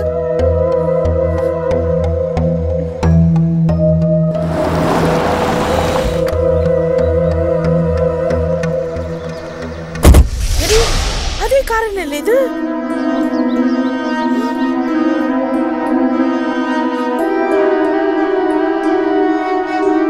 ഈ കാർ ഇവിടുന്ന് എടുത്തിട്ട് തന്നെ കുറെ ദിവസമായി തോന്നുന്നു. അത് ശരിയാ. ഈ കാറിലാണല്ലോ അവൾ ഇന്നലെ വന്നത്. ഇതിപ്പോ ഇവിടെ?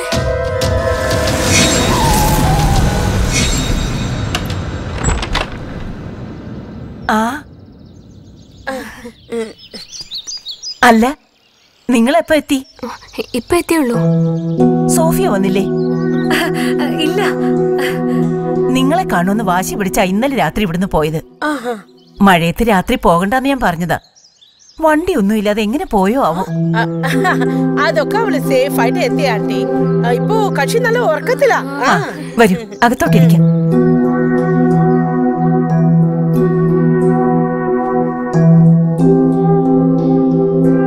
രാത്രി ഞാൻ ഒരുപോലെ കണ്ണടച്ചിട്ടില്ല.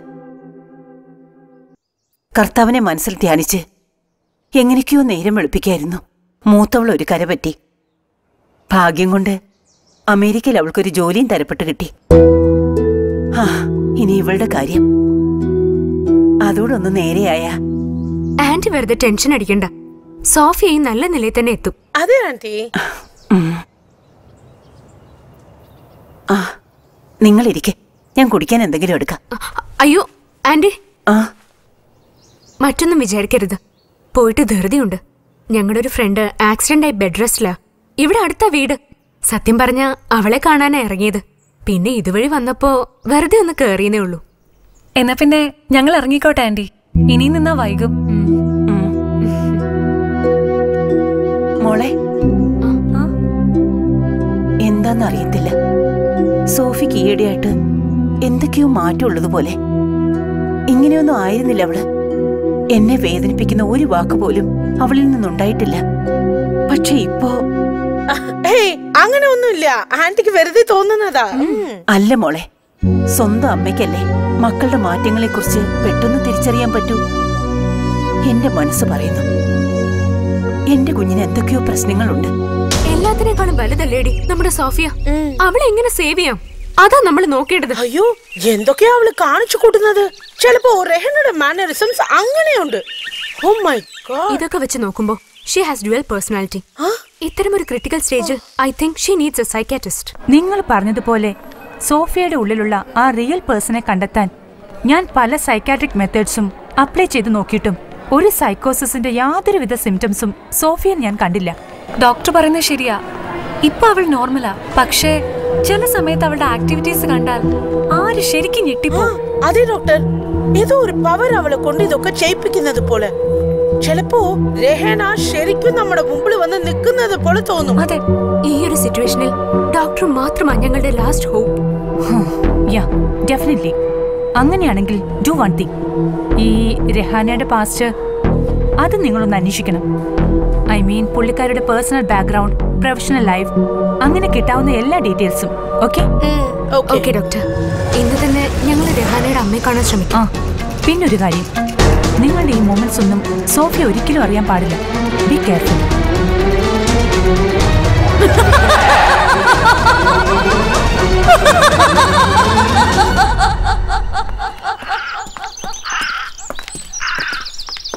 എന്തേ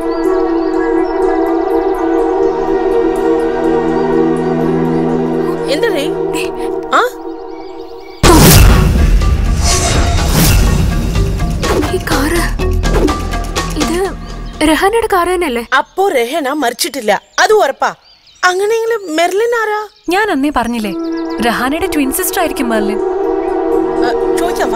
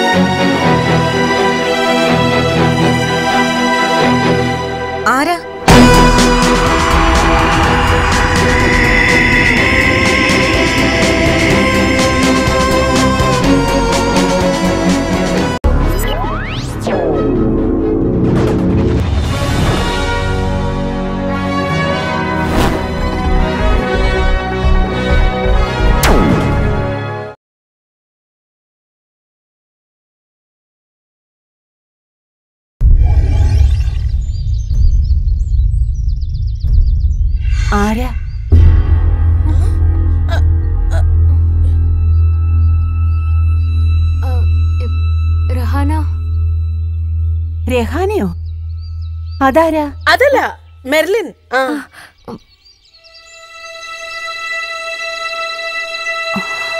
വരൂ. ആക്ച്വലി ഞങ്ങൾ ഇവിടെ വന്നത് ആന്റിയിൽ നിന്നൊരു പ്രധാനപ്പെട്ട കാര്യം അറിയാനാ. ആന്റിക്ക് ഈ കുട്ടി അറിയോ?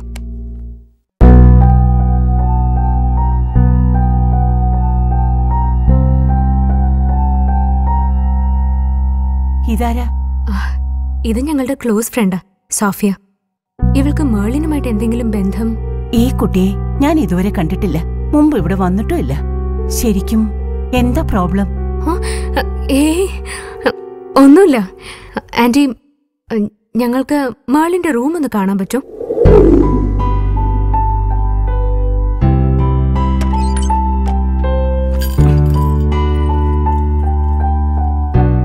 അവൾ പോയ പിന്നെ ഈ മുറിയിൽ വെളിച്ചം വീഴുന്നത് ഇപ്പോഴാ. മോളുടെ മനസ്സ് മുഴുവൻ ഫോട്ടോഗ്രാഫിയിലായിരുന്നു. ഡാഡിയുടെ മരണശേഷം എന്റെ നിർബന്ധം കൊണ്ടാ അവൾ നഴ്സിംഗിന് ചേർന്നത്. ദാ ഈ കാണുന്നതെല്ലാം അവൾ എടുത്ത ഫോട്ടോകളാ. എന്റെ മോളിപ്പോഴും ഈ മുറിയിലുണ്ടെന്ന് തന്നെയാ ഞാൻ വിശ്വസിക്കുന്നത്.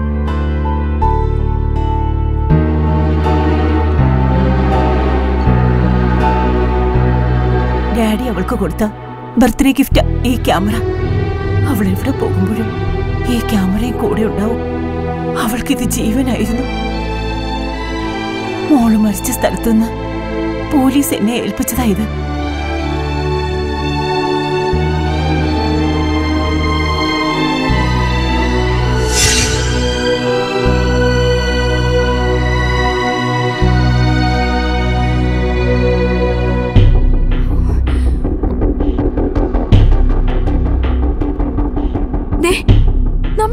അതേ location milestone suicide point ഒരു വർഷത്തിന് മുമ്പേ മരിച്ചുപോയ മെർലിന്റെ ക്യാമറയിൽ ഇതൊക്കെ എടുത്തിരിക്കുന്നു. വല്ലാത്ത ഒരു കോയിൻസിഡൻസ് എന്തായാലും ഒരു കാര്യം ഉറപ്പാ. നമുക്ക് ചുറ്റും നമ്മൾ അറിയാതെ എന്തൊക്കെയോ നടക്കുന്നുണ്ട്. സോഫിയുടെ മനസ്സിൽ ഇങ്ങനെ ഒരു കഥ ഉണ്ടാവുക. യാദൃശികമായി മേളിനെ കണ്ടുമുട്ടുക. അവൾ നമ്മുടെ ഷോർട്ട് ഫിലിമിന്റെ കഥാപാത്രമാവുക. ഐ ഫീൽ സംതിങ് മിസ്റ്റീരിയസ് ശരിയാ. സോഫിയ എഴുതിയ കഥയും ഇതുമായിട്ട് എന്തൊക്കെയോ ബന്ധമുണ്ടെന്ന് തോന്നുന്നു. ക്യാമറ എടുക്കാൻ നിങ്ങളോട് ആരാ പറഞ്ഞേ ഇത് നിന്റെയല്ല മെർലിന്റെയാ ആര് പറഞ്ഞു ഇത് എന്റെ ക്യാമറയാ സോഫിയ ഇത് ഞങ്ങൾ മെർലിന്റെ അമ്മയുടെ നിന്ന് വാങ്ങിച്ചതാ നാളെ തിരിച്ചു കൊടുക്കണം നീ വെറുതെ കളിക്കാതെ ഇങ്ങ് കൊടു. എന്നെ കാണിക്കുന്നേ സോഫിയ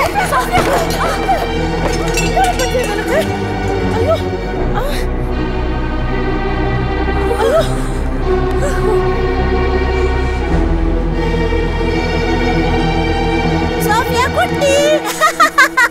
ഞാൻ നിങ്ങൾക്കായി റിസർച്ച് ചെയ്ത് ഒരു പുതിയ ഫുഡ് ഐറ്റം കണ്ടെത്തി.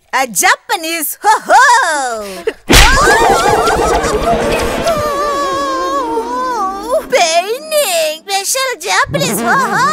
അപ്പോ മെർലിന്റെ ലൈഫിൽ അരുതാത്തത് എന്തോ സംഭവിച്ചു എന്ന് ഉറപ്പാ.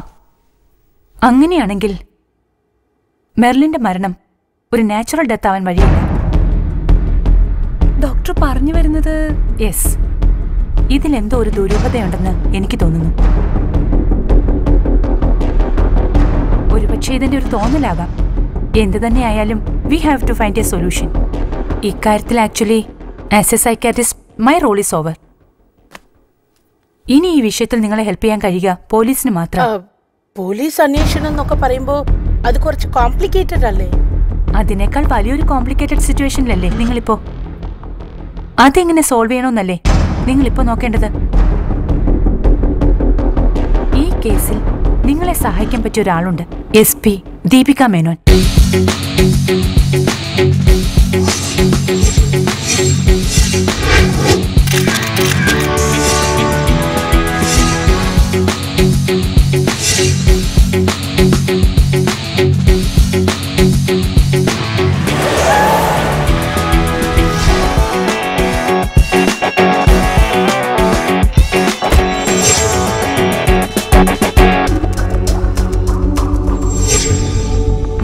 John അല്ലേ? Yes madam.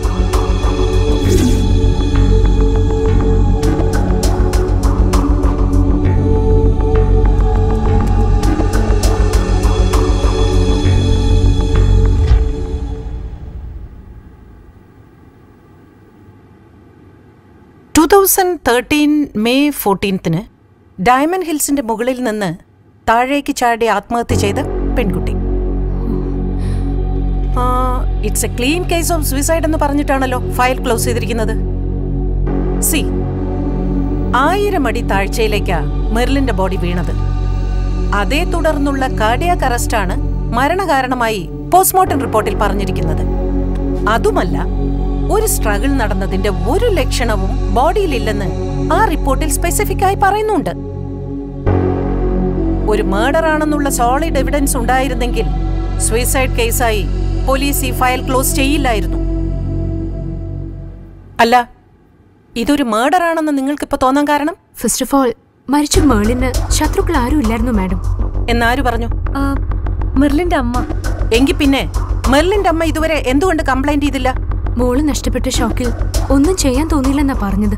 Oh I see madam ഒരു ഡൗട്ട് ഈ കേസ് റീഓപ്പൺ ചെയ്യാൻ പറ്റില്ലേ? ഷുവർ ഇറ്റ്സ് പോസിബിൾ മെറിലിന്റെ ഏറ്റവും ക്ലോസ് റിലേറ്റീവിന്റെ ഒരു പെറ്റീഷൻ വേണ്ടിവരും and it has to be genuine to ഈ കേസിലാണെങ്കിൽ മെറിലിന്റെ അമ്മയാ പരാതി തരേണ്ടത്. നിങ്ങൾ ആ വഴിക്കൊന്ന് മൂവ് ചെയ്യും. ബാക്കി ഞാൻ നോക്കിക്കോളാം. ഓക്കെ താങ്ക് യു മാഡം ഒന്ന് നിന്നേ. മെറിലിനെ കെട്ടാനിരുന്ന പയ്യന്റെ പേരെന്താന്ന് പറഞ്ഞേ?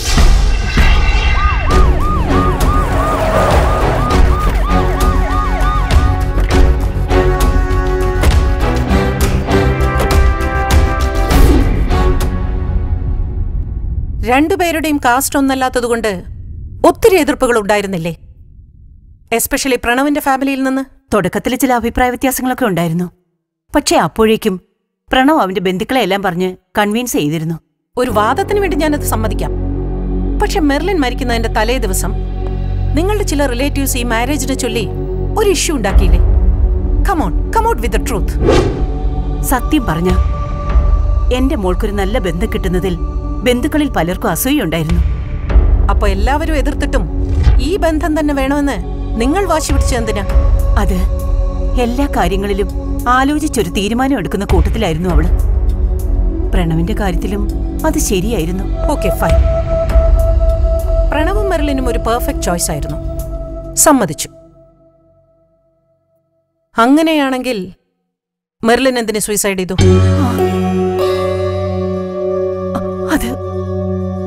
എന്റെ മോൾ അങ്ങനെയൊന്നും ആ. Sorry sorry sorry.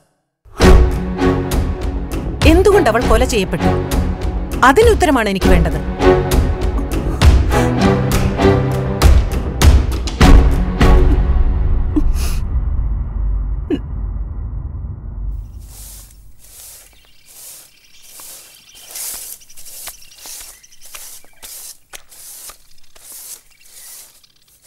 ഇതെന്താണത്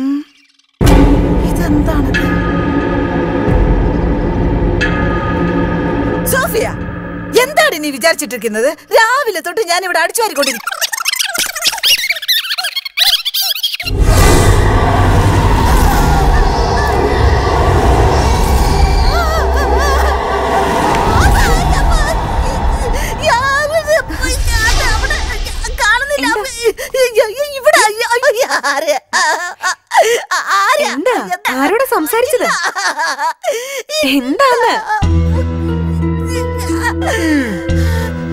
ഗ്ലോറിയൊക്കെ ഒട്ട പിടിച്ചെന്നാ തോന്നുന്നു.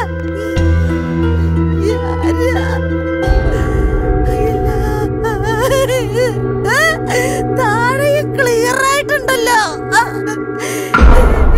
ഇവിടെ എല്ലാം വിചിത്രമാണല്ലോ. മെർലിന്റെ മരണവുമായി മാനേജ്മെന്റിന് ഒരു ബന്ധവുമില്ല അപ്പോ?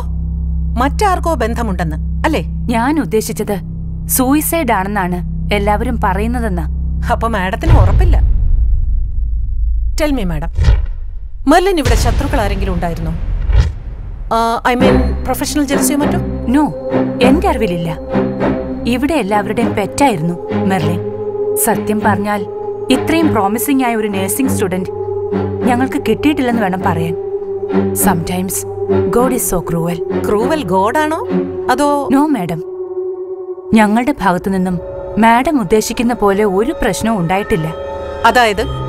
മെർലിനെ കുറിച്ച് കൂടുതലൊന്നും അറിയില്ല എന്നല്ലേ? ടു ബി വെരി ഫ്രാങ്ക് എന്തെങ്കിലും അറിയാമായിരുന്നെങ്കിൽ ഞാനത് പറഞ്ഞേനെ. ഓക്കെ അന്ന് മെർലിന്റെ ബാച്ചിലുണ്ടായിരുന്ന നഴ്സിംഗ് സ്റ്റുഡൻസിന്റെ ഡീറ്റെയിൽസ് ഒന്ന് വേണം മാഡം മുപ്പത് പേരായിരുന്നു ആ ബാച്ചിൽ. അവരിൽ പലരും ഇപ്പോൾ ജോലി കിട്ടി യു കെയിലും യു എസിലും ഒക്കെയാണ് മറ്റുള്ളവരെല്ലാം ഡൽഹി മുംബൈ അങ്ങനെ പലയിടത്തുവാ ഒരു പ്രൈമറി എൻക്വയറി എന്ന നിലയിൽ I am not convinced. Anyway vital information എന്തെങ്കിലും കിട്ടിയാൽ പ്ലീസ് ഗിവ് മൈ റിംഗ് പക്ഷെ ഇപ്പൊ പറഞ്ഞതൊന്നും സത്യമല്ലെങ്കിൽ you have to face the consequences see you madam ആ ബാച്ചിലെ ഒരു കുട്ടി രണ്ടു മാസങ്ങൾക്ക് മുമ്പ് ഡൽഹിയിലെ ജോലി മതിയാക്കി ഇവിടെ ഒരു മെഡിക്കെയർ ഹോസ്പിറ്റൽ വർക്ക് ചെയ്യുന്നതായിട്ട് അറിഞ്ഞു. വാട്ട്സ് ഹർ നെയിം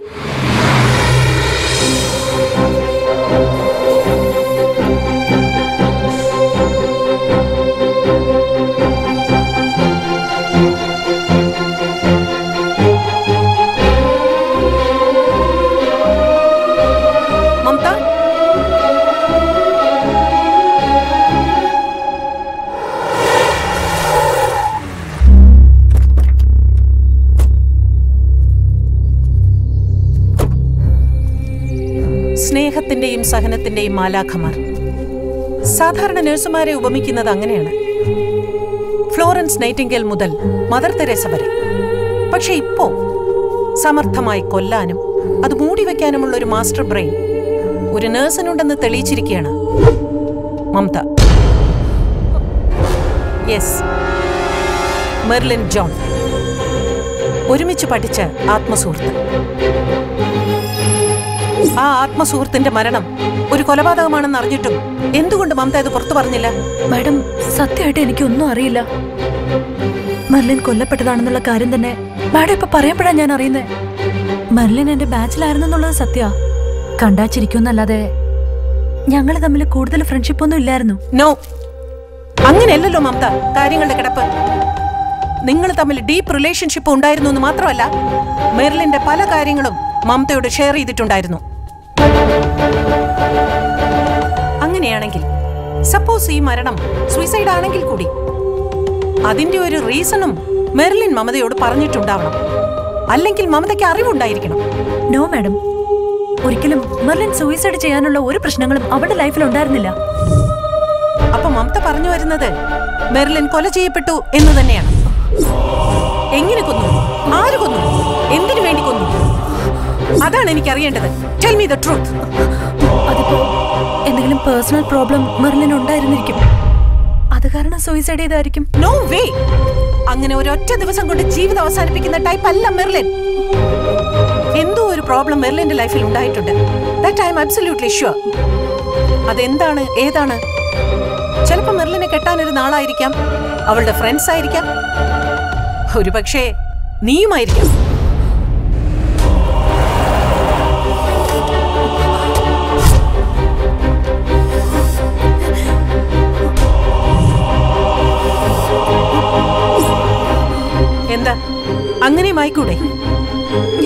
സത്യ മാഡം. മെർലിനെ കുറിച്ച് കൂടുതലൊന്നും എനിക്കറിയില്ല. I totally blank yes I know you are totally blank പക്ഷെ തനിക്കെല്ലാം അറിയാം. അതെനിക്കും അറിയാം.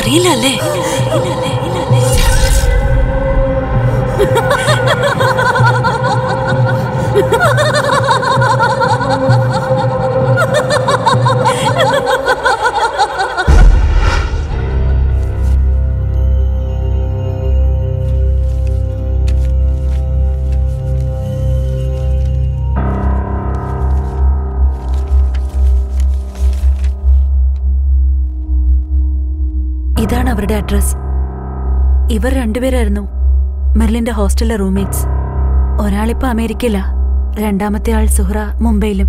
ഇവരിൽ നിന്ന് എന്തെങ്കിലും ക്ലൂ കിട്ടുമെന്ന് മമതയ്ക്ക് തോന്നാൻ കാരണം? ബെസ്റ്റ് ഫ്രണ്ട്സ് ആയിരുന്നെങ്കിൽ കൂടി സുഹറയും മെർലിനും തമ്മിൽ പല കാര്യങ്ങളിലും അഭിപ്രായ വ്യത്യാസം ഉണ്ടായിരുന്നു. ഹാ നൗ യു ക്യാൻ ഗോ വീണ്ടും വരേണ്ടി വരും.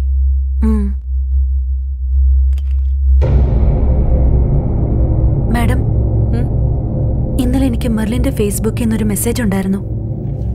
വാട്ട് യു മീൻ മരിച്ച മെർലിന്റെ മെസ്സേജോ അതെ മാഡം. അത് കാരണം ഞാൻ ഇന്നലെ ഉറങ്ങിയിട്ടേ ഇല്ല. അതൊക്കെ വെറും തോന്നലല്ലേ? ജസ്റ്റ് ഫോർഗറ്റ് അബൌട്ട് ഇറ്റ് അല്ല മാഡം റിലാക്സ്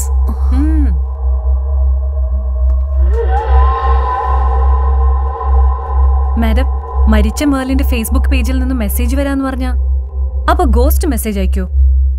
ഷുവർ ചിലപ്പോ ആ ഗോസ്റ്റ് എസ് പി ദീപിക മേനോന്റെ രൂപത്തിലും വരും. മെസ്സേജ് അയക്കുകയും ചെയ്യും. ഓഹോ അപ്പൊ അത് മാഡത്തിന്റെ പ്ലേ ആണല്ലേ? ഈ പ്ലേയിൽ നിന്ന് നമുക്ക് കിട്ടിയിരിക്കുന്നത് ഒരു ക്ലീൻ എവിഡൻസ് ആണ് Suhara Hameed R P lane Andheri west Mumbai.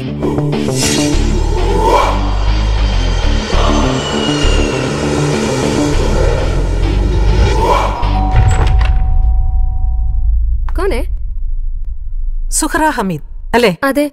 ആരാ? I am S P Deepika Menon. From Kerala police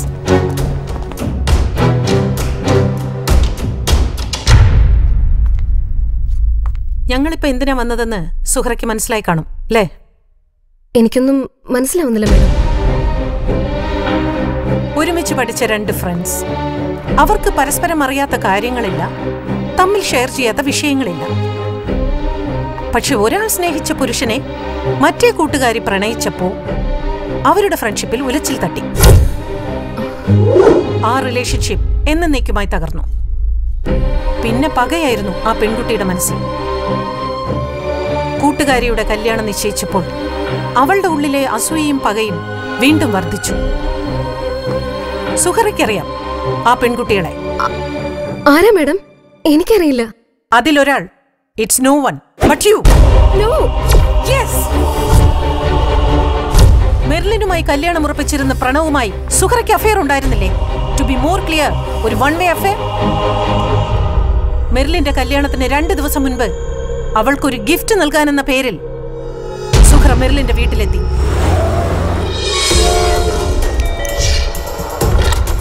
പക്ഷെ മെർലിൻ വീട്ടിലില്ലായിരുന്നു.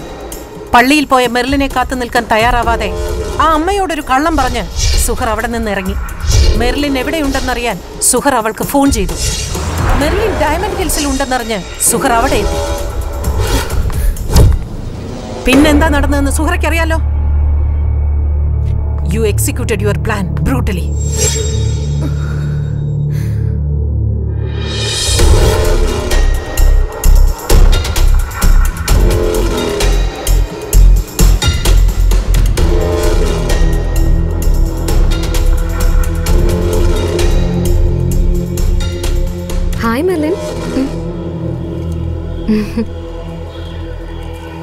hi ഇപ്പോഴും നിന്റെ ഫോട്ടോഗ്രാഫിയുടെ പ്രേമം കഴിഞ്ഞിട്ടില്ലല്ലേ? ഓക്കെ ഇത് എന്റെ വക ഒരു ചെറിയ gift an ever memorable gift thank you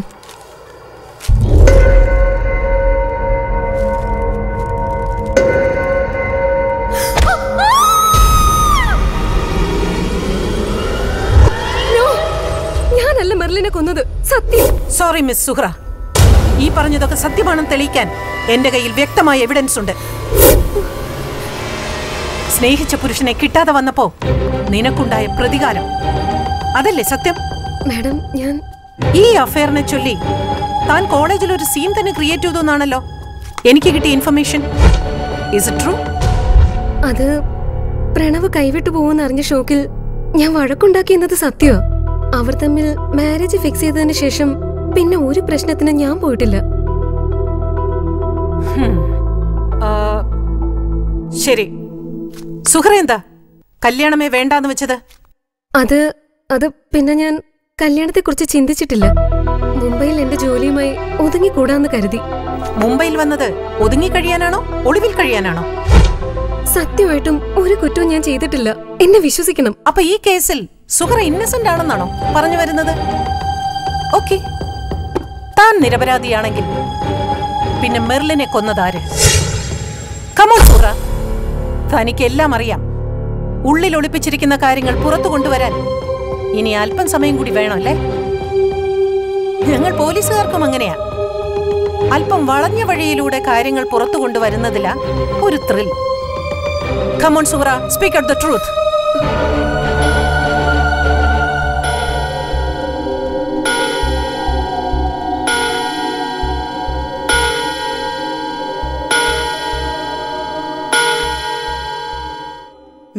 सपने की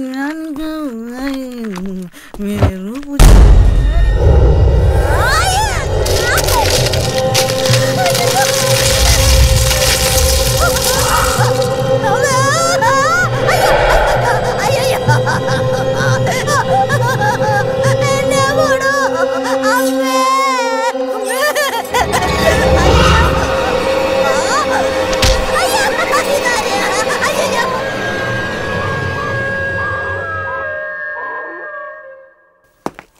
രണ്ടായിരത്തി പതിമൂന്ന് മെയ് പതിനാലാം തീയതി. ഞായറാഴ്ച രാവിലെ പത്തു മണിക്ക് പള്ളിയിൽ പോയ മെർലിൻ രണ്ട് മണിക്കൂറിനകം മരണപ്പെട്ടു എന്നാണ് പോസ്റ്റ്മോർട്ടം റിപ്പോർട്ടിൽ പറഞ്ഞിരിക്കുന്നത്. ദാറ്റ് മീൻസ് രാവിലെ പത്തിനും പന്ത്രണ്ടിനും ഇടയിൽ മെർലിന്റെ ജീവിതത്തിൽ അരുതാത്തതെന്തോ സംഭവിച്ചു. പള്ളിയിൽ നിന്ന് പ്രത്യേകിച്ച് ഒരു കാരണവുമില്ലാതെ മുപ്പത് കിലോമീറ്റർ അകലെയുള്ള ഡയമണ്ട് ഹിൽസിലേക്ക് മെർലിൻ പോകാൻ എന്താവും കാരണം? ആരായിരിക്കും മെർലിനെ കൂട്ടിക്കൊണ്ടുപോയത്? എന്തിന്?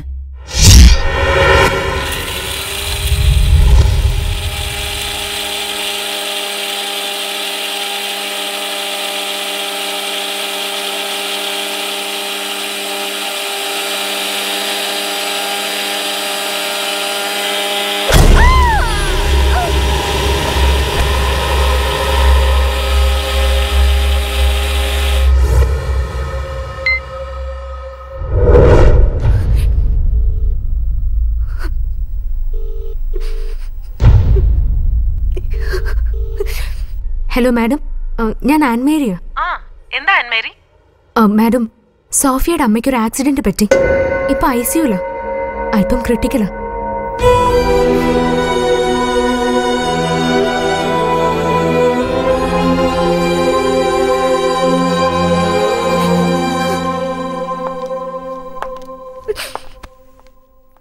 സോഫിയ.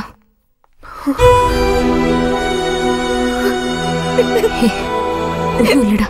கரையாத.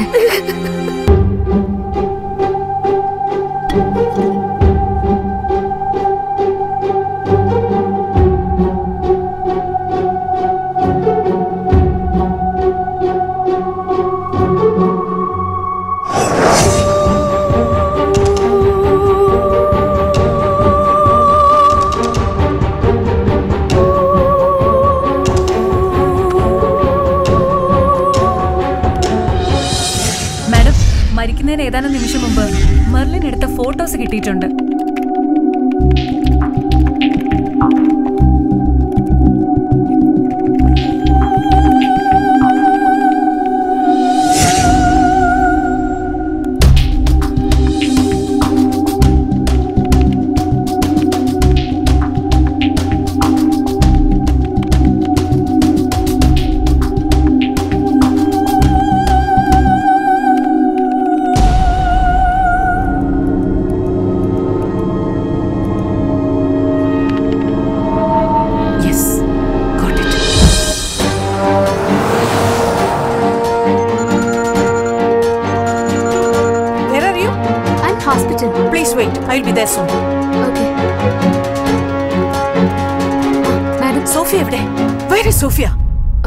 സോഫിയ എയർപോർട്ടിൽ പോയിരിക്കുക അമ്മ ഹോസ്പിറ്റലായി വിവരം അറിഞ്ഞ് അവളുടെ ചേച്ചി വരുന്നുണ്ട് U S damn it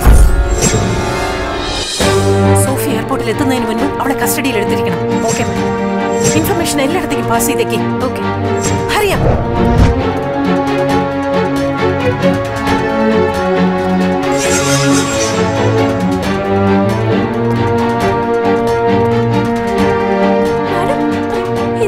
arrest ചെയ്യുന്നത് പ്ലീസ് വെയിറ്റ് മാഡം ഞങ്ങൾക്കൊന്നും മനസ്സിലാവുന്നില്ല madam please please tell us ma'am Sophia she's the culprit yes അവൾ കുറ്റവാളിയാണ്. അമ്മയെ തലക്കടിച്ചു വീഴ്ത്തിയ ശേഷം ഹോസ്പിറ്റലിൽ എത്തിച്ചതും സോഫിയ തന്നെയാണ്. നോ മാഡം സോഫിയ അങ്ങനെ ചെയ്യില്ല. അത് ഉറപ്പാ. യെസ് സോഫിയ തന്നെ അത് ചെയ്തത്. ഫോറൻസിക് ലാബിന്റെയും ഫിംഗർ പ്രിന്റ് ബ്യൂറോയുടെയും റിപ്പോർട്ട് അനുസരിച്ച് ഫ്ലവർ വൈസിൽ കണ്ട ഫിംഗർ പ്രിന്റ് സോഫിയുടെ തന്നെയാണ് ഒരു ടെസ്റ്റോ സ്ട്രഗിളോ നടന്നതിന്റെ യാതൊരു ലക്ഷണവും കാണാൻ സാധിച്ചിട്ടില്ല. ഇതൊക്കെ വെച്ച് നോക്കുമ്പോൾ സോഫിയ തന്നെയാണ് ഈ മർഡർ അറ്റംപ്റ്റ് നടത്തിയത്. പക്ഷെ മാഡം സ്വന്തം അമ്മയാ എന്തിനാ സോഫിയ കൊള്ളാൻ ശ്രമിച്ച? യെസ് ഇവിടെയാണ് നിങ്ങൾ പറഞ്ഞ മെറിലിന്റെ പ്രസക്തി.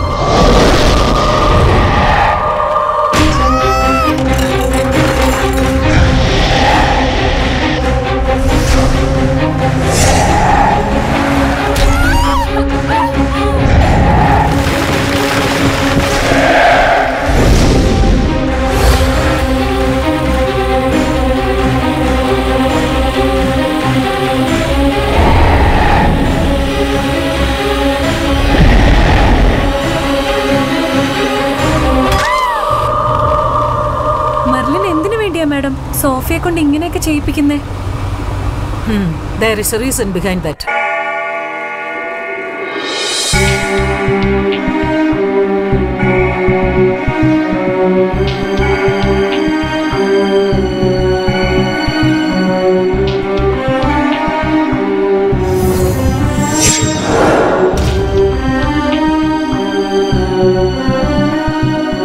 ma'am അത് സോഫിയുടെ ചേച്ചിയാ. യു എസിലാ?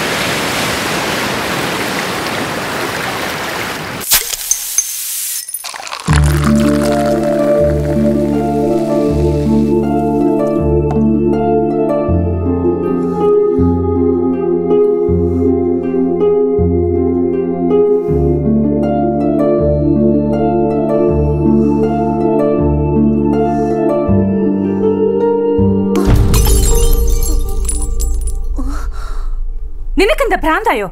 എത്ര തവണ നിന്നോട് ഞാൻ പറഞ്ഞതാ? ഏ? ഇതൊന്നും വേണ്ടെന്ന്. നീ അറിയ ഇതൊക്കെ ചോദിക്കാൻ? ഏ? ഞാൻ ആരാന്നോ? ഞാൻ നിന്റെ ആരുമല്ലേ? അതോ തലയ്ക്ക് പിടിച്ചപ്പോ എല്ലാം മറന്നോ? എന്താ നീ ഒന്നും മിണ്ടാത്തെ? സോറി ഡി. ഞാൻ ഇന്നെന്റെ ഡാഡിയുടെ ഓർമ്മ ദിവസാ. അതൊക്കെ ഓർത്ത് ഞാൻ വല്ലാതെ ഇമോഷണൽ ആയിപ്പോയി. ഇന്ന് മമ്മ വിളിച്ച് ഡാഡിയെ കുറിച്ച് പറഞ്ഞ് ഒരുപാട് കരഞ്ഞു. പാവം ഒറ്റയ്ക്കായി പോയി എന്റെ മമ്മ. മനസ്സ് നിറയെ ഫോട്ടോഗ്രാഫിയാണെന്ന് അറിഞ്ഞപ്പോ ഡാഡി വാങ്ങിത്തന്ന ഗിഫ്റ്റാ ഇത്. ഇതെന്റെ കൂടെയുള്ളപ്പോ ഡാഡി എന്റെ കൂടെയുള്ള പോലെ ഐ നോ ഐ നോ. നീ ഇത് എത്രാമത്തെ പ്രാവശ്യം എന്നോട്? ഒരു കാര്യം നീ ആലോചിക്കണം. ഇത് നിന്റെ ലൈഫാ. ദേ എനിക്ക് വേണ്ടി നീ ഇത് ആവർത്തിക്കില്ലെന്ന് എന്നോട് പ്രോമിസ് ചെയ്യണം.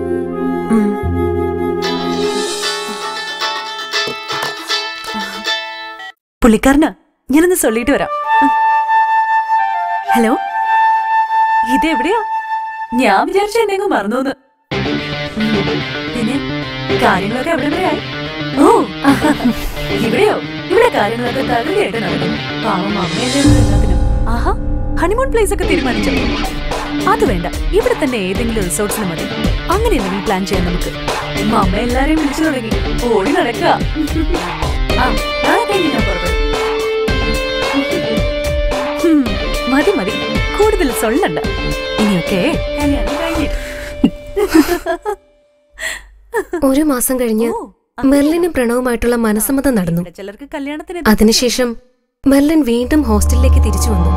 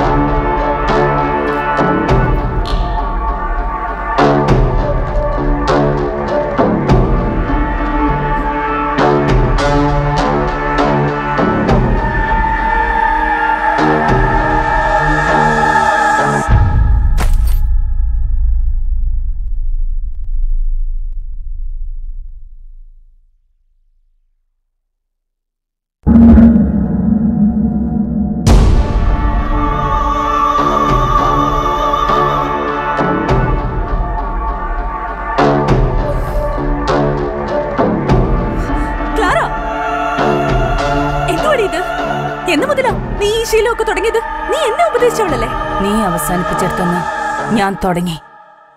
ഇതിനെല്ലാം കാരണം നീയാ? ഞാനോ? യെസ് ഈ പുകഞ്ഞു തീർന്നുകൊണ്ടിരിക്കുന്നത് എന്റെ മനസ്സാ. നീ ഇല്ലാതിരുന്ന രണ്ട് ദിവസം ഞാൻ എങ്ങനെയാ സ്പെൻഡ് ചെയ്തെന്നറിയോ ആ അവസ്ഥ നിനക്ക് മനസ്സിലാവില്ല. രാത്രി മുഴുവൻ ഉറക്കമില്ലാതെ. നിനക്കറിയാമോ? നിന്നെ ഞാൻ എത്രമാത്രം മിസ് ചെയ്യുന്നു നീ എന്തൊക്കെയാ പറയുന്നേ? Merlin I need you Merlin. എന്റെ സ്നേഹം മനസ്സിലാക്കാതെ ഒരു പൊട്ടിയെ പോലെ നീ മറ്റൊരുത്തനെ കല്യാണം കഴിച്ച് സുഖമായി ജീവിക്കാൻ പോകുന്നല്ലേ? Mean yes I mean what I said എനിക്ക് എനിക്ക് നീ വേണം. മെർലിൻ നീ ഇല്ലാതെ എനിക്ക് പറ്റില്ല. ഒരു നിമിഷം പോലും. നീ എന്റെ അടുത്തുള്ള ഓരോ സെക്കൻഡും ഞാൻ എന്തുമാത്രം എൻജോയ് ചെയ്യുന്നു നിനക്കറിയോ?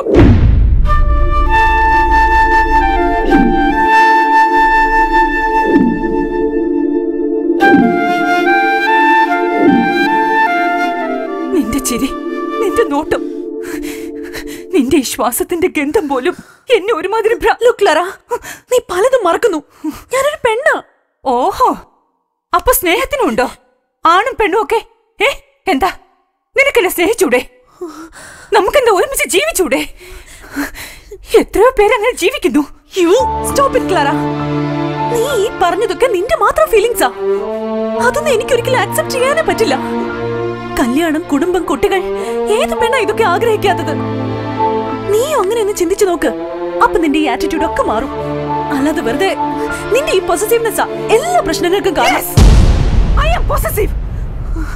ഒരുതരം ഭ്രാന്തമായ ഒബ്സഷൻ അതാണ് എനിക്ക് നീ.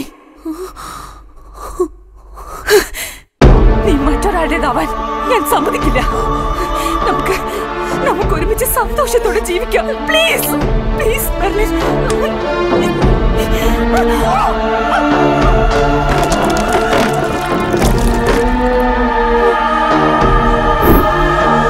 sorry Clara ഈ അവസ്ഥയിൽ ഇനി ഈ മുറിയിൽ നമ്മൾ രണ്ടും ഒരുമിച്ച് കഴിയില്ല. ഞാൻ പോവാ.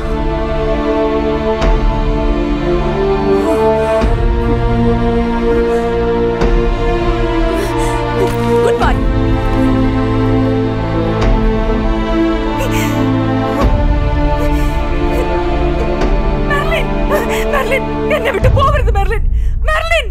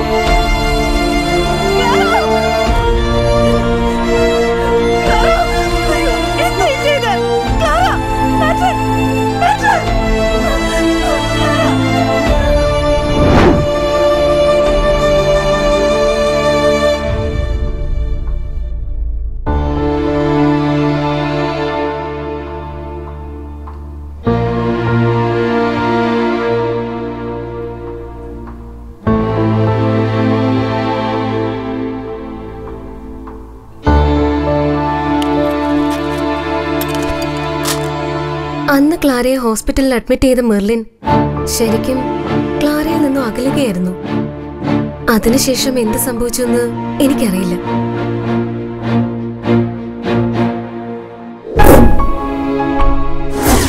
But who's the killer?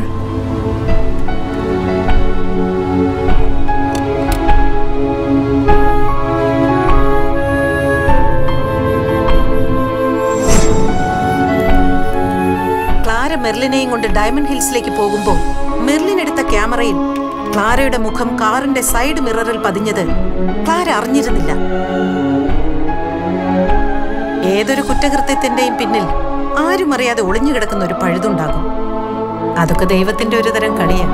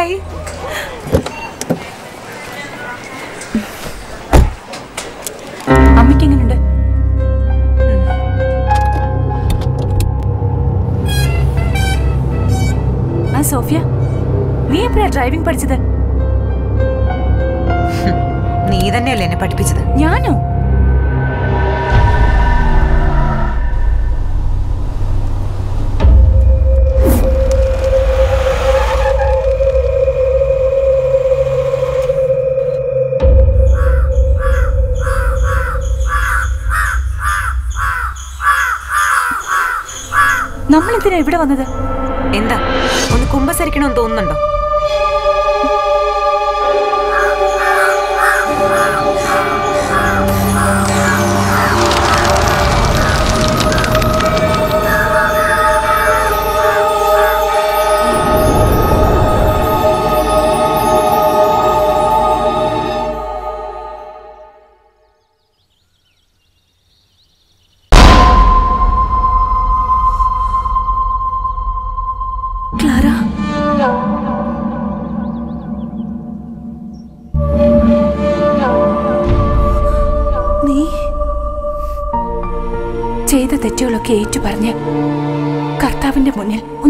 കുമ്പസാരിക്കാൻ വന്നതാ ഞാൻ. നിന്നെപ്പറ്റി ഓർക്കുമ്പോഴൊക്കെ എന്റെ ഉള്ളിൽ വല്ലാത്തൊരു ഗിൽറ്റി കോൺഷ്യസ് ആണ്. എനിക്കറിയാം. നിനക്കിപ്പോഴും വിശ്വാസമായിട്ടില്ലെന്ന്. കാരണം ഒരു പെണ്ണിനും സഹിക്കാൻ പറ്റാത്തത്ര ക്രൂവൽറ്റി ആണല്ലോ ഞാൻ നിന്നോട് ചെയ്തത്.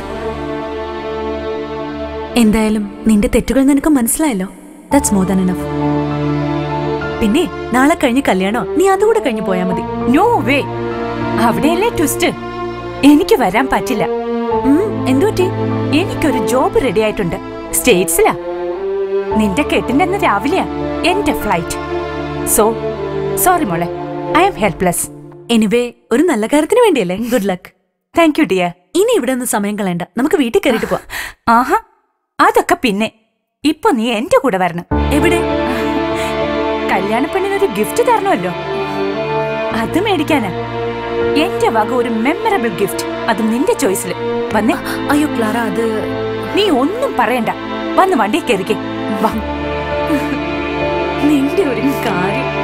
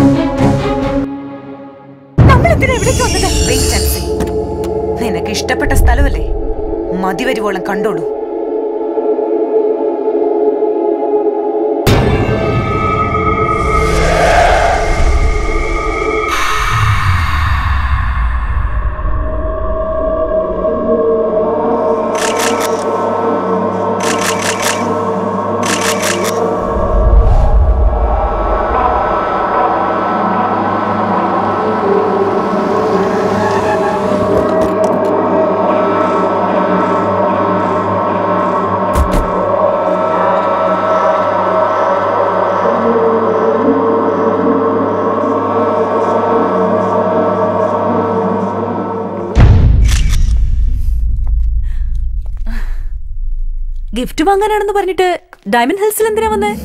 നീ ഒരു ഫോട്ടോഗ്രാഫർ ആയ സ്ഥിതിക്ക് ഇതിനേക്കാൾ നല്ല എന്ത് ഗിഫ്റ്റാ ഞാൻ തരേണ്ടത്? ഇപ്പൊ നിനക്ക് മനസ്സിലായില്ലേ? ഞാൻ എന്തിനാ നിന്നെ ഇവിടെ കൊണ്ടുവന്നെന്ന് നിങ്ങളുടെ ഹണിമൂണിന് I think this can be the best place ആഹാ അതിനിടയ്ക്ക് നീ അതും തീരുമാനിച്ചോ? പിന്നെ? നിന്റെ കാര്യത്തിൽ എന്നും എനിക്കൊരു സ്പെഷ്യൽ കെയറിംഗ് ഉണ്ടല്ലോ. ദേ അങ്ങോട്ട് നോക്കിയേ. സ്കൈയും മൗണ്ടനും കണ്ട ഫസ്റ്റ് ടൈം കിസിനായി കാത്തു നിൽക്കുന്ന ലവേഴ്സിനെ പോലെ ഉണ്ടല്ലേ? ഓ സമ്മതിച്ചു. ഇനി ഇവിടെ നിന്നാലേ ഒത്തിരി ലേറ്റ് ആവും. അമ്മ ഇവിടെ തിരക്കുന്നുണ്ടാവും. കല്യാണത്തിന്റെ ഒരുക്കങ്ങളൊക്കെ ബാക്കി കിടക്കുക. വാ നമുക്ക് പോവാം. എടി പ്ലീസ് അല്ല അത് പിന്നെ ഒരര മണിക്കൂറെങ്കിലും നിനക്ക് എന്റെ കൂടെ സ്പെൻഡ് ചെയ്തൂടെ? നിന്നോട് മനസ്സ് തുറന്നൊന്ന് സംസാരിക്കാൻ വേണ്ടിയാ ഞാൻ ഈ ഹോപ്ലെസ് റോഡിലൂടെ ഡ്രൈവ് ചെയ്ത് ഇതുവരെ വന്നത്.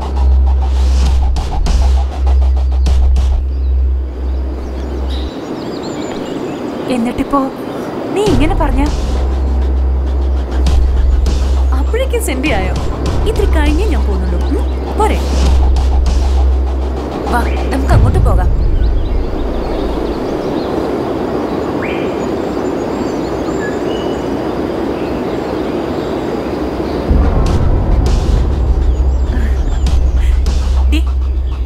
ഫോട്ടോ എടുത്തതാ. ഈ സീനറി അതിന്റെ മാക്സിമം ഡെപ്തോടുകൂടി കിട്ടണം. ആഹാ. ഒരു പെയിന്റിംഗ് പോലെ ഷുവർ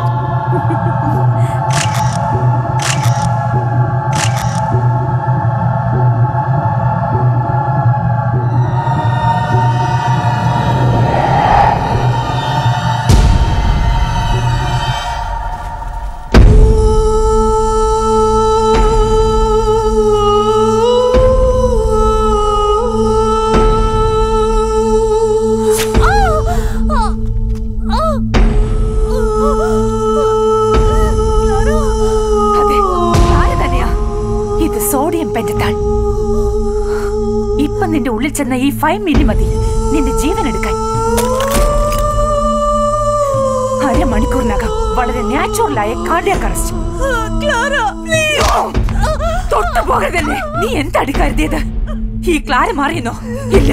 അങ്ങനെ മാറണമെങ്കിൽ ഈ ക്ലാര ഇല്ലാതാവണം. നിനക്ക് ഓർമ്മയുണ്ടോ ഞാനെന്ന് പറഞ്ഞത്? ഞാനില്ലാത്ത ഒരു ജീവിതം നീ സ്വപ്നം കാണണ്ടെന്ന്? കേട്ടില്ല നീ അന്ന്. നീ നിന്റെ സൗഭാഗ്യങ്ങൾ മാത്രമേ നോക്കിയുള്ളൂ. You are selfish Merlin you are selfish അതുകൊണ്ട് തന്നെ ഈ മരണം നീ അർഹിക്കുന്നു. നിനക്കും അറിയാലോ ഈ കെമിക്കലിന്റെ ഒരംശം പോലും നിന്റെ രക്തത്തിൽ നിന്ന് കണ്ടെത്താനാവില്ലെന്ന്. ദാറ്റ് മീൻസ് നിന്റെ യഥാർത്ഥ മരണ കാരണം അതെന്നും അൺഐഡന്റിഫൈഡ് ആയിരിക്കും. In the history of medical science ഞാനും നീയും പഠിച്ച അതേ തിയറി.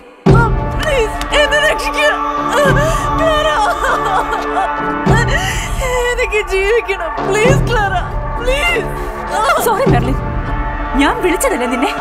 നമുക്ക് ഒരുമിച്ച് ജീവിക്കാൻ. പക്ഷെ നീ കേട്ടില്ല. നീയാണ് എന്നെ കൊണ്ട് ചെയ്യിച്ചത്. നീ എന്നിൽ നിന്ന് നഷ്ടപ്പെടുമെന്ന് അറിഞ്ഞത് മുതലാ.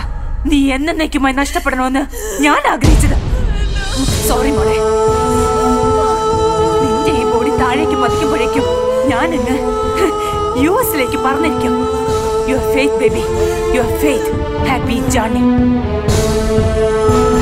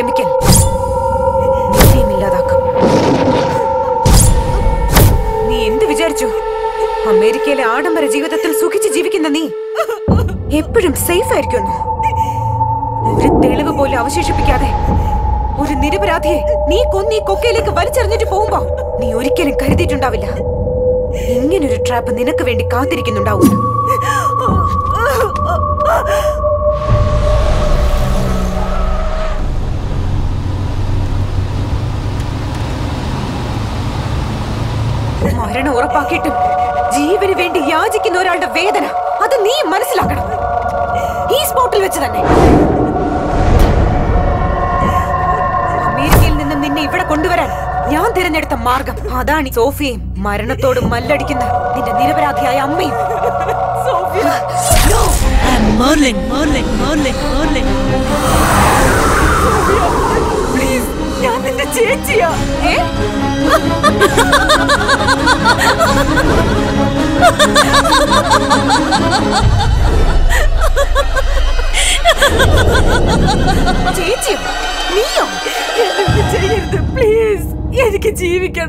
ഒരിറ്റ ജീവന് വേണ്ടേ? ഇതുവരെ ഞാനും നിന്നോട് ശരിക്കും കെഞ്ചിയില്ലേ? പക്ഷെ നീ എനിക്ക് തന്നില്ല. ഒരു നിമിഷം കൊണ്ട് നീ ഇല്ലാതാക്കിയത് എന്റെ പ്രതീക്ഷകളാ. എന്റെ സ്വപ്നങ്ങളാ. ചേച്ചി എന്റെ അമ്മ. എന്റെ വിവാഹം. അങ്ങനെ എനിക്ക് പ്രിയപ്പെട്ടതെല്ലാം.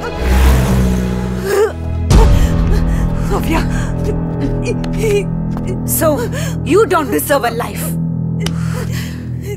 wish you happy journey ആ